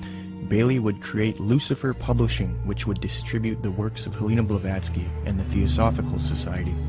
She would later change the name to Lucis Trust because Lucifer Publishing was too controversial. Lucis Trust evolved into a large New Age organization, and it is still active today. Lucis Trust is also directly associated with the United Nations. According to the United Nations International Geneva Yearbook 2009, quote, the Lucis Trust is recognized by the United Nations as a non-governmental organization and is represented at regular briefing sessions at UN headquarters. The Lucis Trust is on the roster of the United Nations Economic and Social Council. Thus, Theosophy and the New Age are now fused into the United Nations, which gives a medium for the New Age agenda to unfold.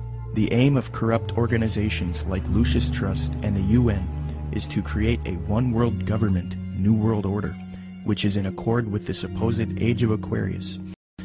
Many high-level elitists have voiced their approval for such a system. Donald Keys is a high-level New Age leader. Humanity, says Keys, is, quote, on the verge of something entirely new, a further evolutionary step unlike any other, the emergence of the first global civilization. David Rockefeller, the owner of the Chase Manhattan Bank, called for a new world order openly in his book Memoirs, quote, For more than a century, ideological extremists at either end of the political spectrum have seized upon well-publicized incidents, such as my encounter with Castro, to attack the Rockefeller family for their inordinate influence they claim we wield over American political and economic institutions. Some even believe we are part of a secret cabal working against the best interests of the United States characterizing my family and me as internationalists and of conspiring with others around the world to build a more integrated global political and economic structure. One world, if you will. If that's the charge, I stand guilty, and I am proud of it. Unquote.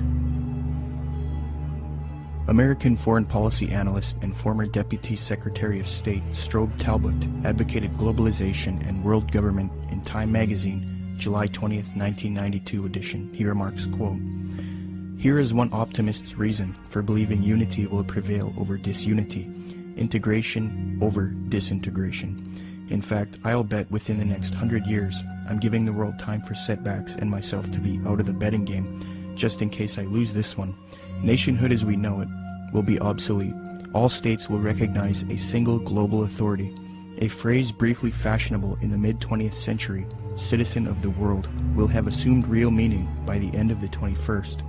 All countries are basically social arrangements, accommodations to changing circumstances, no matter how permanent and even sacred they may seem at any one time. In fact, they are all artificial and temporary. Unquote. Mikhail Gorbachev, previously noted, stated, quote, The threat of environmental crisis will be the international disaster key that will unlock the New World Order. Unquote. Gorbachev also remarked, quote, We are moving toward a new world order, the world of communism. We shall never turn off that road. Unquote. New Ager and student of Alice Bailey, Robert Muller, former Secretary General of the United Nations, gave this frightening admission, quote, We must move as quickly as possible to a one-world government, a one-world religion, under a one-world leader, unquote. The esoteric zeitgeist movement promotes a world system, resource-based economy with absolutely no money, a technotronic society where machines play a big role. The zeitgeist movement seeks to grow out of capitalism, free markets, profit motive, and scarcity, which they believe are responsible for aberrant behavior. Many people have concluded that the zeitgeist utopian system is socialistic and communistic. For example, after watching Zeitgeist Addendum, author and political lecturer G. Edward Griffin was convinced that Zeitgeist is advocating a Marxist socialist world system. He states, quote, Perhaps the biggest insult to our intelligence is the main theme of the program. It is that profits are the root of all our problems today. That being the case, we must change mankind to reject profit, and we must work together on some other basis. It is never quite clear what that basis is, but Whatever it is, it will be administered and directed by an elite group, at least in the beginning. I was stunned by the fact that this is pure Marxism. Marx theorized that people had to be re-educated in labor camps if necessary, to cleanse their minds of the profit motive. He and his disciples such as Lenin and Stalin and Khrushchev said that eventually the character of man would be purged of greed, and then the state would wither away because it no longer would be needed. Sure, we saw that in the Soviet Union and China, right? Yet this Marxist nonsense is exactly what is offered in this video program. It is communism without using the name. The enemy of mankind is not profit. It is a political system of big government. Yet this program is supportive of some of the most notable big government collectivists on the planet. Marxist-Leninists may be enemies of collectivists in Washington, D.C., but they are collectivists in their own right. The communist model is no better than the Nazi model. Samuel Adams, a patriotic founding father of America, repudiated communist and socialist ideas. The utopian schemes of leveling, redistribution of wealth, and a community of goods central ownership of the means of production and distribution, are as visionary and impractical as those which vest all property in the crown. These ideas are arbitrary, choices and actions which are done not by means of any underlying principle or logic, despotic, ruling with absolute political power, and in our government unconstitutional. When one does a comparison between Zeitgeist Addendum and the communist model, it becomes clear that Zeitgeist is in fact promoting communism. N. B. Godke, in the work Encyclopedic Dictionary of Economics, defines full communism based on the ideals of Marx and Engels and others as, quote, 1. Social wealth will be distributed according to human needs, meaning things that are scarce will be distributed first to those who need them the most. Zeitgeist proposes having an abundance of resources and no scarcity, and thus the idea of distributing wealth according to human needs is rendered obsolete. On this point, they have merely updated the communist model by eliminating scarcity. 2. The state will wither away as there is no need for coercion. The state does nothing because there is no state. There is no state. 3. Social classes will not exist. Zeitgeist states, the process which has been going on for centuries, if not millennia, religion, patriotism, race, wealth, class, and every other form of arbitrary separatist identification thus conceived, has served to create a controlled population utterly malleable in the hands of the few. 4. It will be a moneyless economy. Zeitgeist's associate Jacques Fresco states the system uses no money. 5. It will be a command economy. In other words, government planners decide which goods and services are produced and how they are distributed. According to Zeitgeist, distribution of goods and services without the use of money or tokens would be accomplished by establishing distribution centers. These centers would be similar to expositions, where the advantages of new products are explained and demonstrated. Exhibition centers will display what is new and available and will constantly be updated. So as you can see, a side-by-side comparison between the communist model and the Zeitgeist model shows how similar the concepts are. The Marxist website entitled Socialism or Your Money Back.blogspot.com after reviewing the Zeitgeist movement and their admissions, stated this on July 26, 2009, quote, This, surely, is the same as what we call world socialism, unquote. So even the socialists will admit that the Zeitgeist movement is in fact world socialism. Adams Wass explains, quote, Communism and the Marxist utopia of a moneyless society where products were distributed rather than sold and bought, unquote.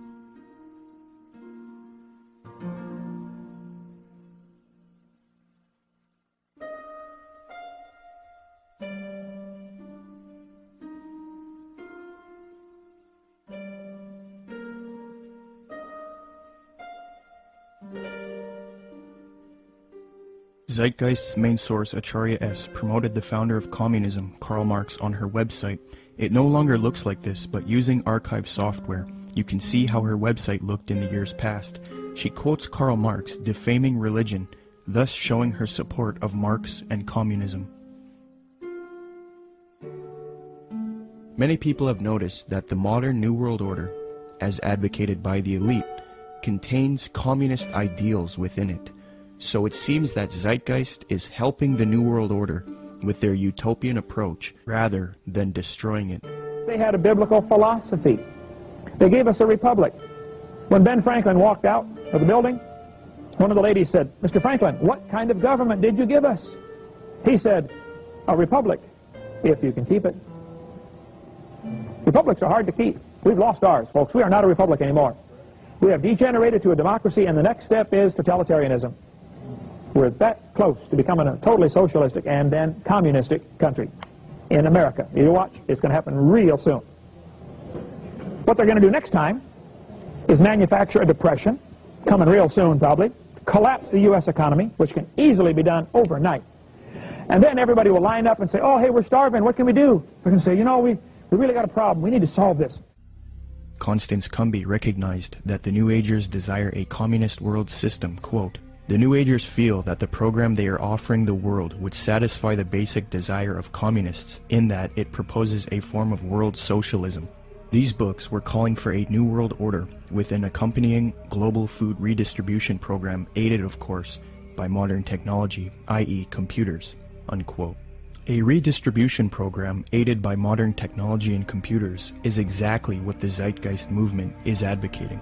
Notice how similar Zeitgeist's plan is to the New Age agenda just mentioned in Constance Cumbey's book. In the Zeitgeist orientation lecture, Peter Joseph states, just as each city has a central organizational dome which functions as the brain along with its nervous system, consisting of computerized environmental monitoring via satellite and electronic probes, the larger world complex absorbs each city and monitors the broad spectrum of the environment, making sure there isn't a problem or material resource needed in any of the individual cities, while also regulating larger order processes for all the cities and the environment as a whole. As a whole. Theosophist Alice Bailey concurs, quote, the true communist platform is sound.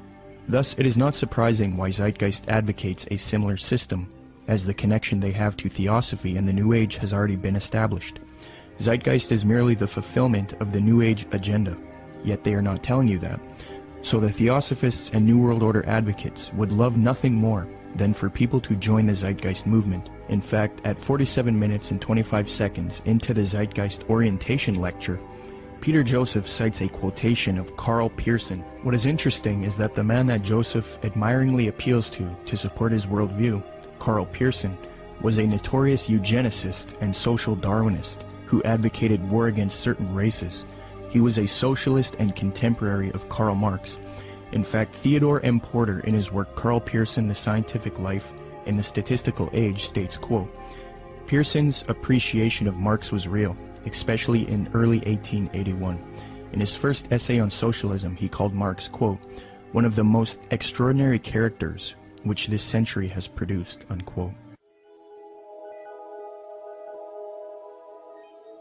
New World Order research involving lectures, radio addresses, and writing used to be conducted by people such as William Cooper, Fritz Springmeier, John Todd, Randall N. Baer, and Kent Hovind. The unifying factor in all of these people was that they were all Christians. They would expose the New World Order and its New Age Luciferian communist aims. They would promote belief in Jesus Christ and the Word of God, and tell people to resist the mystery religions of Theosophy and Freemasonry while exposing them. However, all of these men have either been murdered or framed and jailed, silenced. William Cooper was shot dead in 2001 as he was ambushed Fritz Springmeier was framed, discredited, and jailed. Randall N. Baer had his car ran off of a mountain pass. John Todd was framed, discredited, jailed, and then murdered. Kent Hovind was singled out for tax evasion and then jailed. Okay, so Fritz Springmeier, uh, you knew him, right? Yes. Okay, uh, so you got some letters from him, is that? Yes, when Fritz, uh, when they put Fritz in prison, and there's been, you know, he, it was pretty much a trumped up charge of, I think they, marijuana or something, talk of robbing a bank, this type of stuff. He got put in prison, and uh, I started corresponding with him at that point because I had read several of his books and actually talked to him personally on several occasions. And we really, all we could do at that point is correspond. Right. So I've got several handwritten letters from him. And uh, the last time I had heard from him was several years back and uh, he had been in a. It wasn't his fault, and I think it might have been arranged where um, he was in a fight. He didn't fight back. Yeah. The guy came and he told me that he was just using his head like a soccer ball, essentially. Really? Oh, it was sad. Wow. It was sad. And you know, Fritz, he never complained in these letters. Yeah. He never. Uh, it wasn't like he was like, oh, woe is me, I'm in prison and this or that. He always had a great attitude. He was trying to help other people in there. I believe he had a, a ministry going. Amen. And, um, you know, I, I can't say enough good about Fritz Springmeier. Now that the Christian New World Order researchers have been silenced, the truth movement has been infiltrated by people who purport to be against the New World Order, yet they advocate the New Age religion, a new utopia, and they all speak against Christianity and the Bible. The people who took over the truth movement and who are allowed to live and teach the public, such as Jordan Maxwell, Michael Tsarion, Peter Joseph, David Icke, and others, all of these people have one unifying factor. They are all strictly against Christianity, and they are all heavily associated with the New Age, Theosophy, and Freemasonry. I think Jordan Maxwell is somebody um, who is just deceived. It's my personal opinion, and I could be wrong about this, that Jordan Maxwell is not uh, a paid disinformation agent or he's not uh, somebody that is a high level Satanist. I think that Jordan Maxwell is like many of us in the truth movement. Uh, we have uh, been deceived by a lot of very clever disinformation. In his case, Blavatsky and the secret doctrine and that whole concept that, that really got him on a roll. Jordan Maxwell um, is a person who believes that the entities that he's involved with, that he had experiences with in the desert, etc., were Pleiadians. And I think that he thinks that they chose him to uh, teach the world certain things. So, in that context, it's very hard for him or really anybody to um, break free of that paradigm because in that paradigm he gets to be this super special individual and we all are, are uh, uh, vulnerable to that. If we have supernatural experiences where, where entities tell you that you are the chosen one and that you're going to do something it's very hard not to believe them because that's what you want. And so it's very hard uh, and, and of course in doing so, in, in thinking, okay, these guys, these Pleiadians, are on my side, when in actuality they're demons, they would coax him to do certain things, like he mentioned later, to go into, uh, you know, these seances or whatever. In doing that, they can have more control over him because they're demons and they have a, a, a system to get more control over a person. And if they do that, then he can uh, start to be used more thoroughly by them, and he can do exactly what he promised them that he would do, to be a channel for them. And that's what his life has been about. Being used, despite his, uh, despite his pr- probably very good intentions, he has been a tool of the New World Order. And so my, my view is um, that Jordan Maxwell's uh, ex- ends up promoting the New World Order. In that particular um, in that particular session, he goes on to say that the um, New World Order, uh, that a, a, bad time is coming, but that time must come in order for it to be uh, uh, destroyed to bring the birth of the New World Order. Out of chaos comes order. So he was saying that the, the old system must be destroyed to come the new system. And that is exactly what uh, the double headed phoenix rising out of the ashes is all about. The old system of the New World Order is what we see building up all around us. It is going to get really, really bad, and, and it, it but it is going to be destroyed. Um, in, in a sense, uh, because it, that faucet is being run by evil. We all know that the things that are happening to the world right now are are being done because of evil. So if evil is causing all those things, evil can also turn that faucet off at just the right time in order to make it seem like whoever stopped it stopped it and therefore is the savior. So that new system will seem like the utopia that Jordan Maxwell says we all need to wait for. It's interesting that he says that at that time is that that's when the you know the aliens or gods are coming back to say to stop it. That's the deception. That's what's that's what the people in the um, have been saying of the occultists, saying that that's what the demons are going to do for a long time. It's it's easy to be seduced, especially in Tsarion's case, who was raised since 11 years old, saying this is truth. He was raised by Rosicrucians, raised by um, these people by his own admission. He was doing the tarot cards at the age of 11 by his own biography. This is the example of being raised in a system, being told one thing is true and the other thing is is not. Um, it's it's biased, is what it is. But but nevertheless, I don't want to I think in that reason these people deserve our sympathy. One way or the other, they are deceived. Even if they are intentionally doing it, which is possible in the case of Tsarion, and it's possible in the case of Maxwell too, I, I suppose. Um, even if they're intentionally doing it, they have to deserve our um, sympathy and even our prayers, because even if they're intentionally doing it, they're still deceived. Uh, but but to say, but to wrap that up, uh, Blavatsky and everything that came out of that was what First Timothy calls the doctrines of demons, and in the last days people will uh, believe. The New Age and all of that was birthed by Blavatsky, and the New Age ideas um, will be used to bring in this new world order.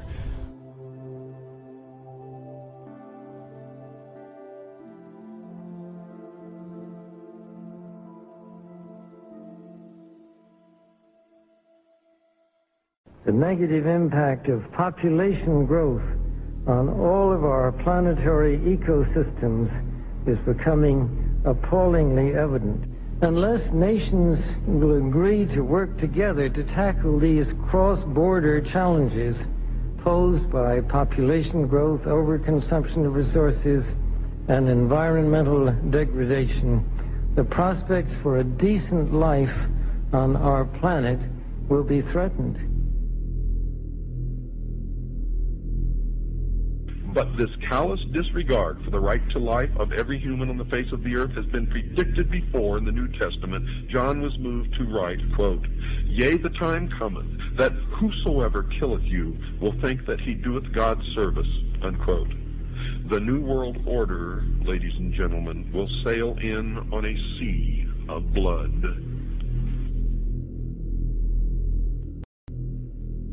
The same New Agers who call for peace, love, harmony, and world unity, when confronted with separatists, for example, fundamentalist Christians, you start to see a darker side to them. They do not appreciate people who will not adopt their New Age views. For example, a major New Age figure, David Spangler, who was in a group known as uh, Planetary Citizens, which was a UN group, stated something to the effect of we can take all the marshmallows, all the scriptures, all the tablets, and have a jolly good bonfire. So essentially, he's promoting the abolition of these faiths.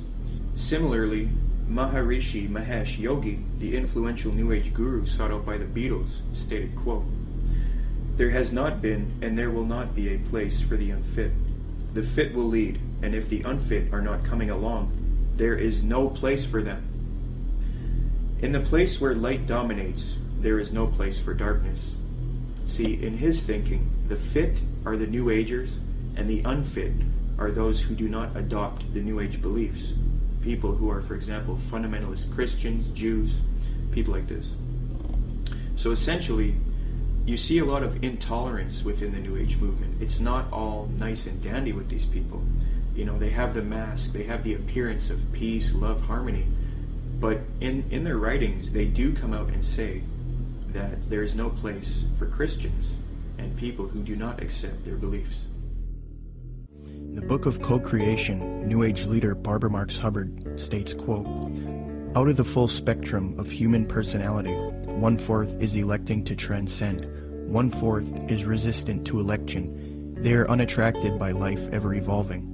Now as we approach the quantum shift from creature human to co-creative human, the destructive one-fourth must be eliminated from the social body. Fortunately you, dearly beloveds, are not responsible for this act. We are. We are in charge of God's selection process for planet Earth. He selects, we destroy. We are the riders of the pale horse, death. Alice Bailey explained what the New World Order will do to those who refuse to accept it. Quote, Let us never forget that it is the life, its purpose, and its directed, intentional destiny that is of importance, and also that when a form proves inadequate, or too diseased, or too crippled for the expression of that purpose, it is, from the point of view of the hierarchy, no disaster when that form has to go. Death is not a disaster to be feared. The work of the destroyer is not really cruel or undesirable. Therefore, there is much destruction permitted by the custodians of the plan, and much evil turned into good. Unquote.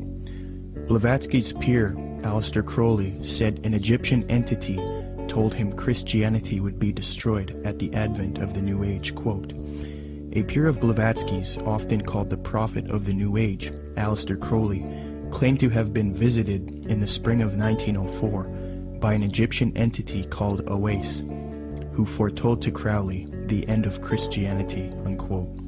But if you dig deep into the literature, yes, they're going to be extremely intolerant. Um, David Spangler had talked about the Luciferic initiation and um, these types of things. And we look in the Bible and we can look at like Revelation 13 and uh, where all they that do not receive the mark and the mark of the beast in their right hand or their forehead, you know, are, are, are going to essentially forfeit their life. This is where this is how intolerant it's going to become. It's going to be their way or no way. And so, no, they're, they're not going to have any tolerance. I think at first they're going to come as real nice guys, though. I don't think they're going to do that right off the bat.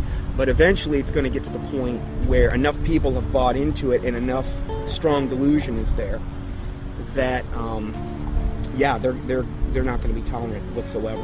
Barbara Marx Hubbard states, The end of this phase of evolution shall come. All will know their choice. All will be required to choose. All who choose to be natural Christs will be guided from within as to how to proceed. All who choose not to evolve will die off. the kindergarten class of Earth will be over, unquote. Robert Muller, previously mentioned, states, quote, I am surprised that no one has yet thought of creating a pro-Earth, humanity-challenging organization which would put itself in the shoes of our Mother Earth and rejoice whenever humans diminish in numbers or consume less. It would give yearly prizes to people, events, or institutions which achieve a reduction of the human population or of the consumption of Earth resources. The first prize should go to the United Nations, which through its World Population Conferences and anti-population work has prevented 2,200,000,000 more people from being born between 1952 and the year 2000.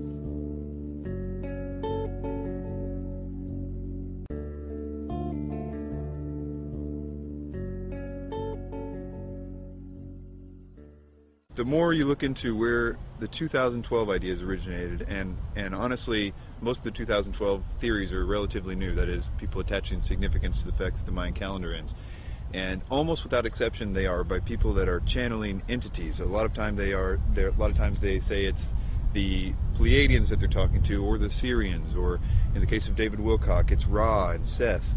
Uh, most of the time, what the entities are telling the people uh, don't always match up, but they always seem to be telling the same things. And for the most part, a lot of those early people that got the information from uh, spiritual entities uh, were saying that it was a great cosmic enlightenment that was coming in 2012. And so uh, that to me is seems to be the most direct um, idea that the spirit world wants us to think because it's oftentimes accompanied with this idea that they want you they want the person they're telling to go out and tell more people. So 2012 became significant on the internet because people felt like it was their mission to tell other people because they were having supernatural experiences.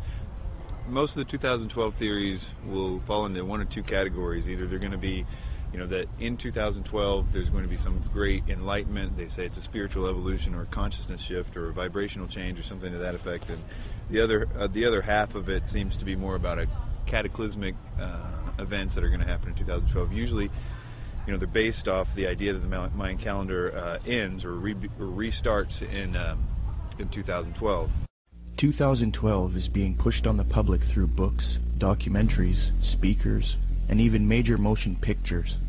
We are meant to believe that December 21st, 2012 will either be a catastrophe for humanity or a time when there is a consciousness enlightenment and a world shift, a time when humanity evolves. However, when you consult the scholars who study the Mayan calendar, they don't seem to support these views at all. University of Florida anthropologist Susan Gillespie says the 2012 phenomena comes from the media and from other people making use of the Maya past to fulfill agendas that are really their own. Despite the publicity generated by the 2012 date, Susan Milbrath, curator at Latin American Art and Archaeology at the Florida Museum of Natural History, stated that, quote, We, the archaeological community, have no record or knowledge that the Maya would think the world would come to an end in 2012.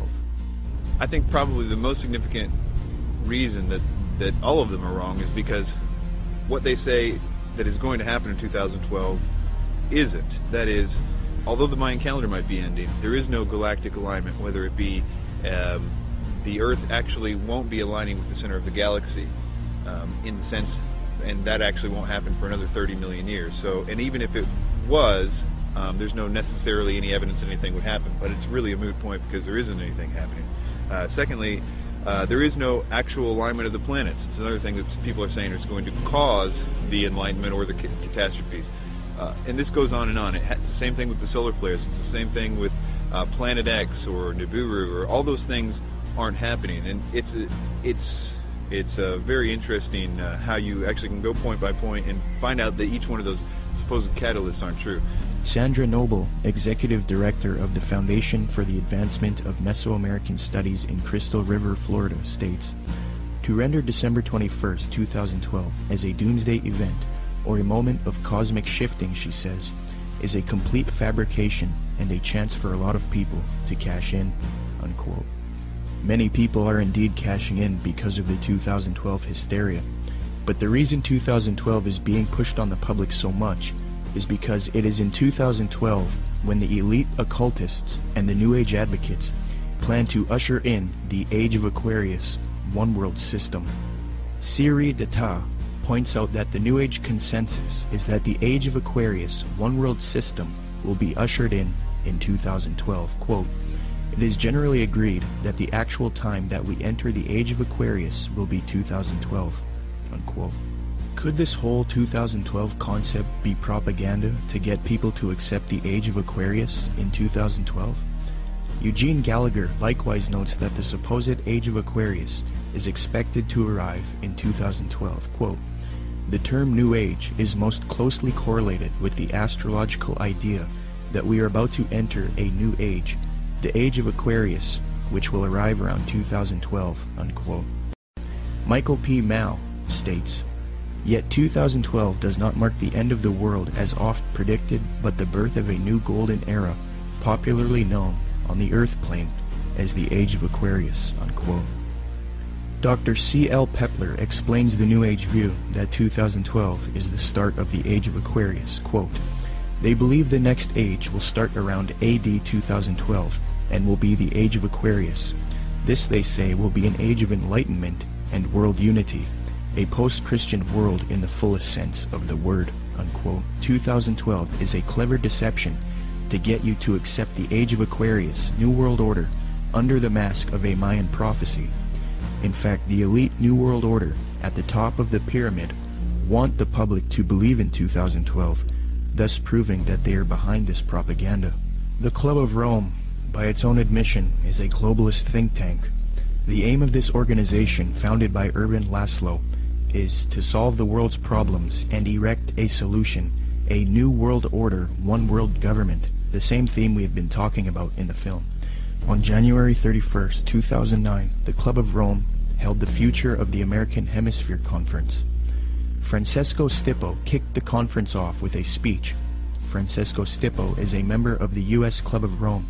He authored the book World Federalist Manifesto, Guide to Political Globalization, where he states, quote, Political globalization is the creation of a world government which regulates the relationships among governments.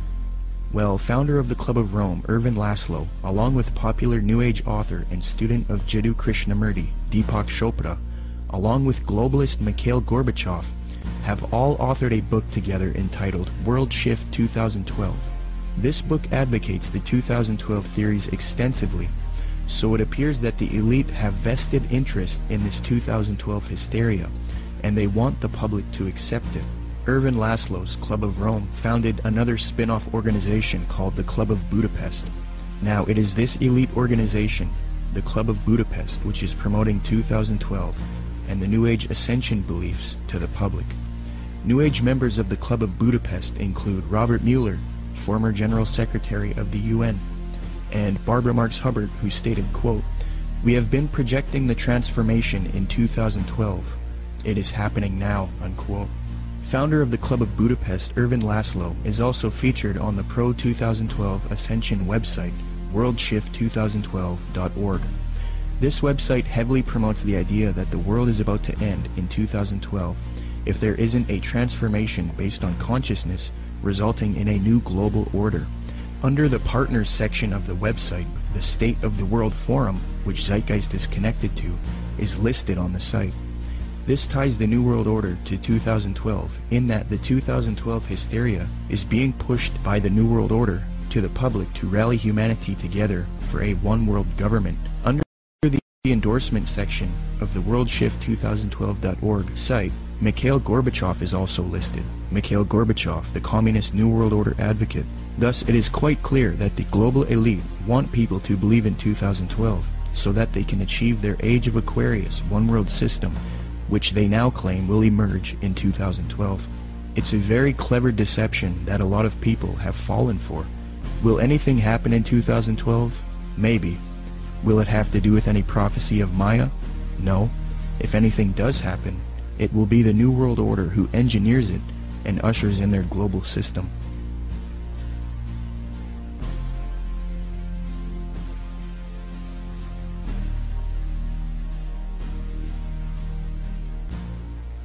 The reason the Christian anti-New World Order researchers have been silenced and replaced with New Age advocates is because the New World Order occultists and New Age advocates hate biblical Christianity. Why?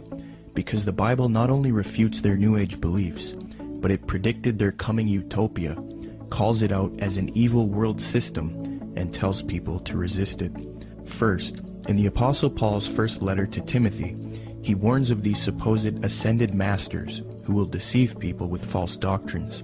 Quote, the Spirit clearly says that in later times some will abandon the faith and follow deceiving spirits and things taught by demons. Such teachings come through hypocritical liars whose consciences have been seared as with a hot iron. Paul also predicts the New Age movement, quote, For the time will come when men will not put up with sound doctrine. Instead, to suit their own desires, they will gather around them a great number of teachers to say what their itching ears want to hear. They will turn their ears away from the truth and turn aside to myths. New Agers will often claim that the Bible promotes their astrological beliefs. However, in the Old Testament book of Isaiah, astrology is forbidden and identified as an abomination to God. Quote, Let now the astrologers, the stargazers, the monthly prognosticators stand up and save thee from these things that shall come upon thee. Behold, they shall be as stubble. Zeitgeist's main source, Acharya S., claims that Jesus talks about the age of Pisces in Matthew 28:20, which states, "And teaching them to obey everything I have commanded you, and surely I am with you always to the very end of the age." However, although the zodiac was around in first century Palestine, the age concept was not around yet, so the biblical writers could not have been referencing the astrological age. Dr. Noel Swerdlow, professor of astronomy and astrophysics at the University of Chicago, states, Within which group of stars the vernal equinox was located was of no astrological significance at all. The modern ideas about the age of Pisces or the age of Aquarius are based upon the location of the vernal equinox in the regions of the stars of those constellations. So when this woman says that the Christian fish was a symbol of the coming age of Pisces, she is saying something that no one would have thought of in antiquity, unquote. When Matthew 28:20 talks about the end of the age, or in Greek, the end of the eon, he is not talking about astrological ages, as this concept was not around yet. The age referred to is that of Jewish understanding. As J.P. Holding remarks, quote, Zeitgeist is correct that when Jesus refers to the end of the eon, he doesn't mean the end of the world. However, he is also not speaking of the astrological age of Pisces. Rather, in the first century Jewish thought, there was an awareness of the current age, Ha-Olam Ha-Zeh, and the age to come, Ha-Olam Ha-Ba. The distinction between the two appears both in the New Testament and in other Jewish writings. This has nothing to do with astrology, unquote. Zeitgeist merely tried to deceive the public into the New Age worldview by distorting the biblical data, which actually condemns astrology. Moreover, Jesus, Paul, and John predict this coming world teacher, Antichrist or Maitreya, and the New World Order, one world government. And it is this reason that the elite and the New Agers hate true biblical Christianity. Paul writes in 2 Thessalonians, quote, that you not be quickly shaken from your composure or be disturbed either by a spirit or a message or a letter as if it is from us, to the effect that the day of our Lord has come. Let no one in any way deceive you, for it will not come unless the apostasy comes first, and the man of lawlessness is revealed, the son of destruction, who opposes and exalts himself above every so-called God or object of worship, so that he takes his seat in the temple of God, displaying himself as being God. And you know what restrains him now, so that in his time he will be revealed. For the mystery of lawlessness is already at work. Only he who now restrains will do so until he is taken out of the way. Then that lawless one will be revealed, whom the Lord will slay with the breath of his mouth, and bring to an end by the appearance of his coming. That is the one whose coming is in accord with the activity of Satan, with all power and signs and false wonders. Jesus Christ warned of the Antichrist and false Christs. He says not to believe anyone who says, Look, the Christ has returned. For Jesus Christ's real glorious second coming comes after the false Christ or Antichrist deceives the world. Matthew 43 states, And Jesus answered and said to them, See to it that no one misleads you, for many will come in my name, saying, I am the Christ, and will mislead many. Then they will deliver you to tribulation and will kill you, and you will be hated by all nations because of my name. Then if anyone says to you, Behold, here is the Christ, or there he is, do not believe him, for false Christs and false prophets will arise, and will show great signs and wonders, so as to mislead, if possible, even the elect. Behold, I have told you in advance. So if they say to you, Behold, he is in the wilderness, do not go out. Or, Behold, he is in the inner rooms, do not believe them. For just as the lightning comes from the east and flashes even to the west, so will the coming of the Son of Man be. But immediately after the tribulation of those days, the sun will be darkened, and the moon will not give its light, and the stars will fall from the sky, and the powers of the heavens will be shaken. And then the sign of the Son of Man will appear in the sky, and then all tribes of the earth will mourn, and they will see the Son of Man coming on the clouds of the sky with power and great. In the book of Revelation, the Apostle John warns about this evil world teacher who humanity worships as he claims to be God. And he opened his mouth in blasphemies against God, to blaspheme his name and his tabernacle, that is, those who dwell in heaven. It was also given to him to make war with the saints and to overcome them and authority over every tribe and people and tongue and nation was given to him. All who dwell on the earth will worship him. Everyone whose name has not been written from the foundation of the world in the book of life of the Lamb who has been slain. And he causes all, the small and the great, the rich and the poor, and the free men and the slaves, to be given a mark on the right hand or their forehead. And he provides that no one will be able to buy or sell except the one who has the mark, either the name of the beast or the number of his name. Here is wisdom. Let him who has understanding calculate the number of the beast, for the number is that of a man, and his number is 666. John then talks about how the leaders of the world will form a one world system and give authority to the Antichrist, or false world teacher. Quote, The ten horns which you saw were ten kings who have not yet received a kingdom, but they receive authority as kings with the beast for one hour. These have one purpose, and they give their power and authority to the beast these will wage war against the Lamb, and the Lamb will overcome them, because he is Lord of lords and King of kings, and those who are with him are called and chosen and faithful. So if this Maitreya is real, and if he has the support of the New World Order, and if he plays a role in the coming world system, there is a high potential that he is in fact the Antichrist. We will have to wait and see. The Bible talks about how the real Lord Jesus Christ will return after this world system is created and this world teacher deceives the planet. Revelation 6 says, Then the kings of the earth, the princes, the generals, the rich, the mighty, and every slave and every free man hid in the caves among the rocks of the mountains. They called to the mountains and the rocks, Fall on us and hide us from the face of him who sits on the throne and from the wrath of the Lamb. For the great day of their wrath has come, and who can stand? The time that it's talking about in, in the Bible is, is actually going to be a time when the world is going to be extremely happy to be in this new system.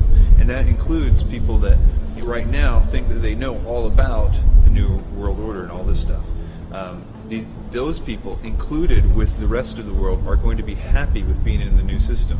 Um, the new, what the Bible describes is something that is almost impossible to believe, in the sense that um, people are going to give their worship. These are politically correct people are going to give their worship to a man. That they're going to that something is going to happen to cause them to worship a man, um, and that that is something we're not ready for. It's it's something that uh, that that political leaders don't right now do miracles. You know, for the most part, right. that the whole concept requires new input, something different has to happen.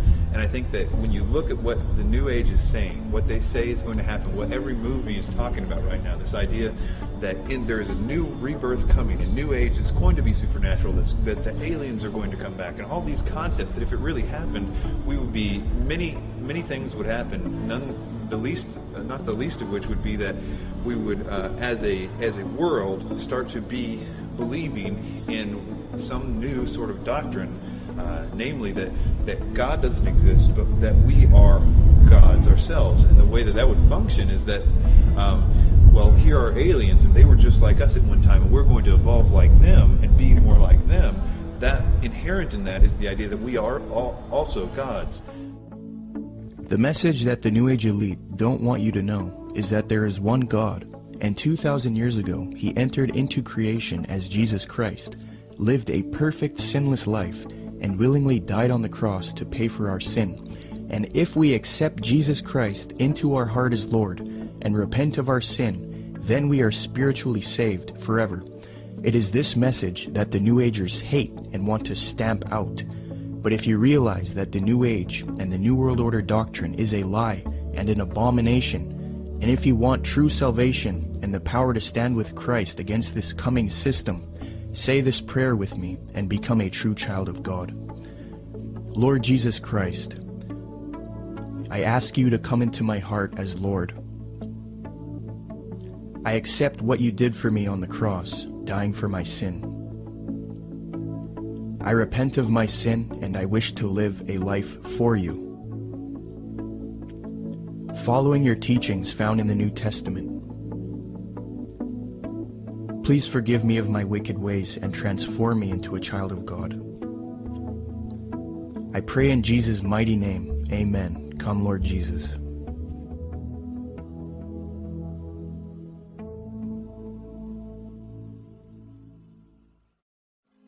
You don't really understand sometimes what a terrible burden it is to know some of the things that I know and try to wake people up and impart this knowledge to them and find out that they just have walls built in front of them.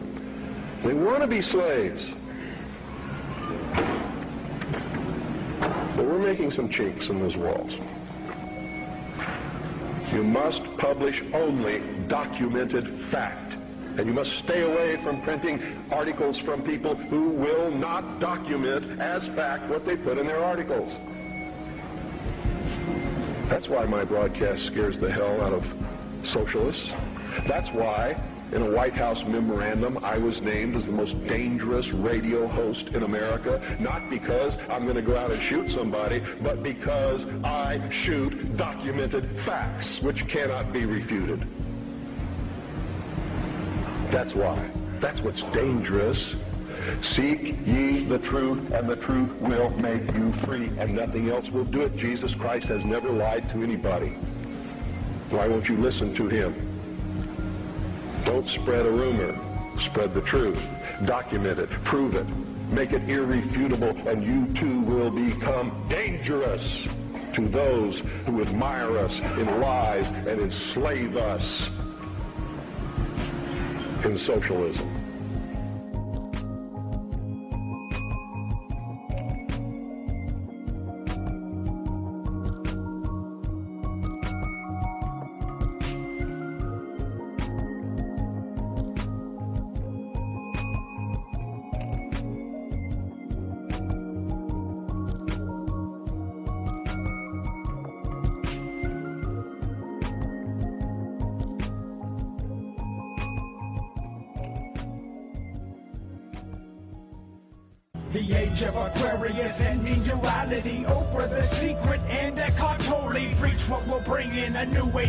Reality. In traditions of pagan theosophy. Bound to be thousands of offshoots of Crowley. Students of Alice C. Bailey who follow the lies of Blavatsky.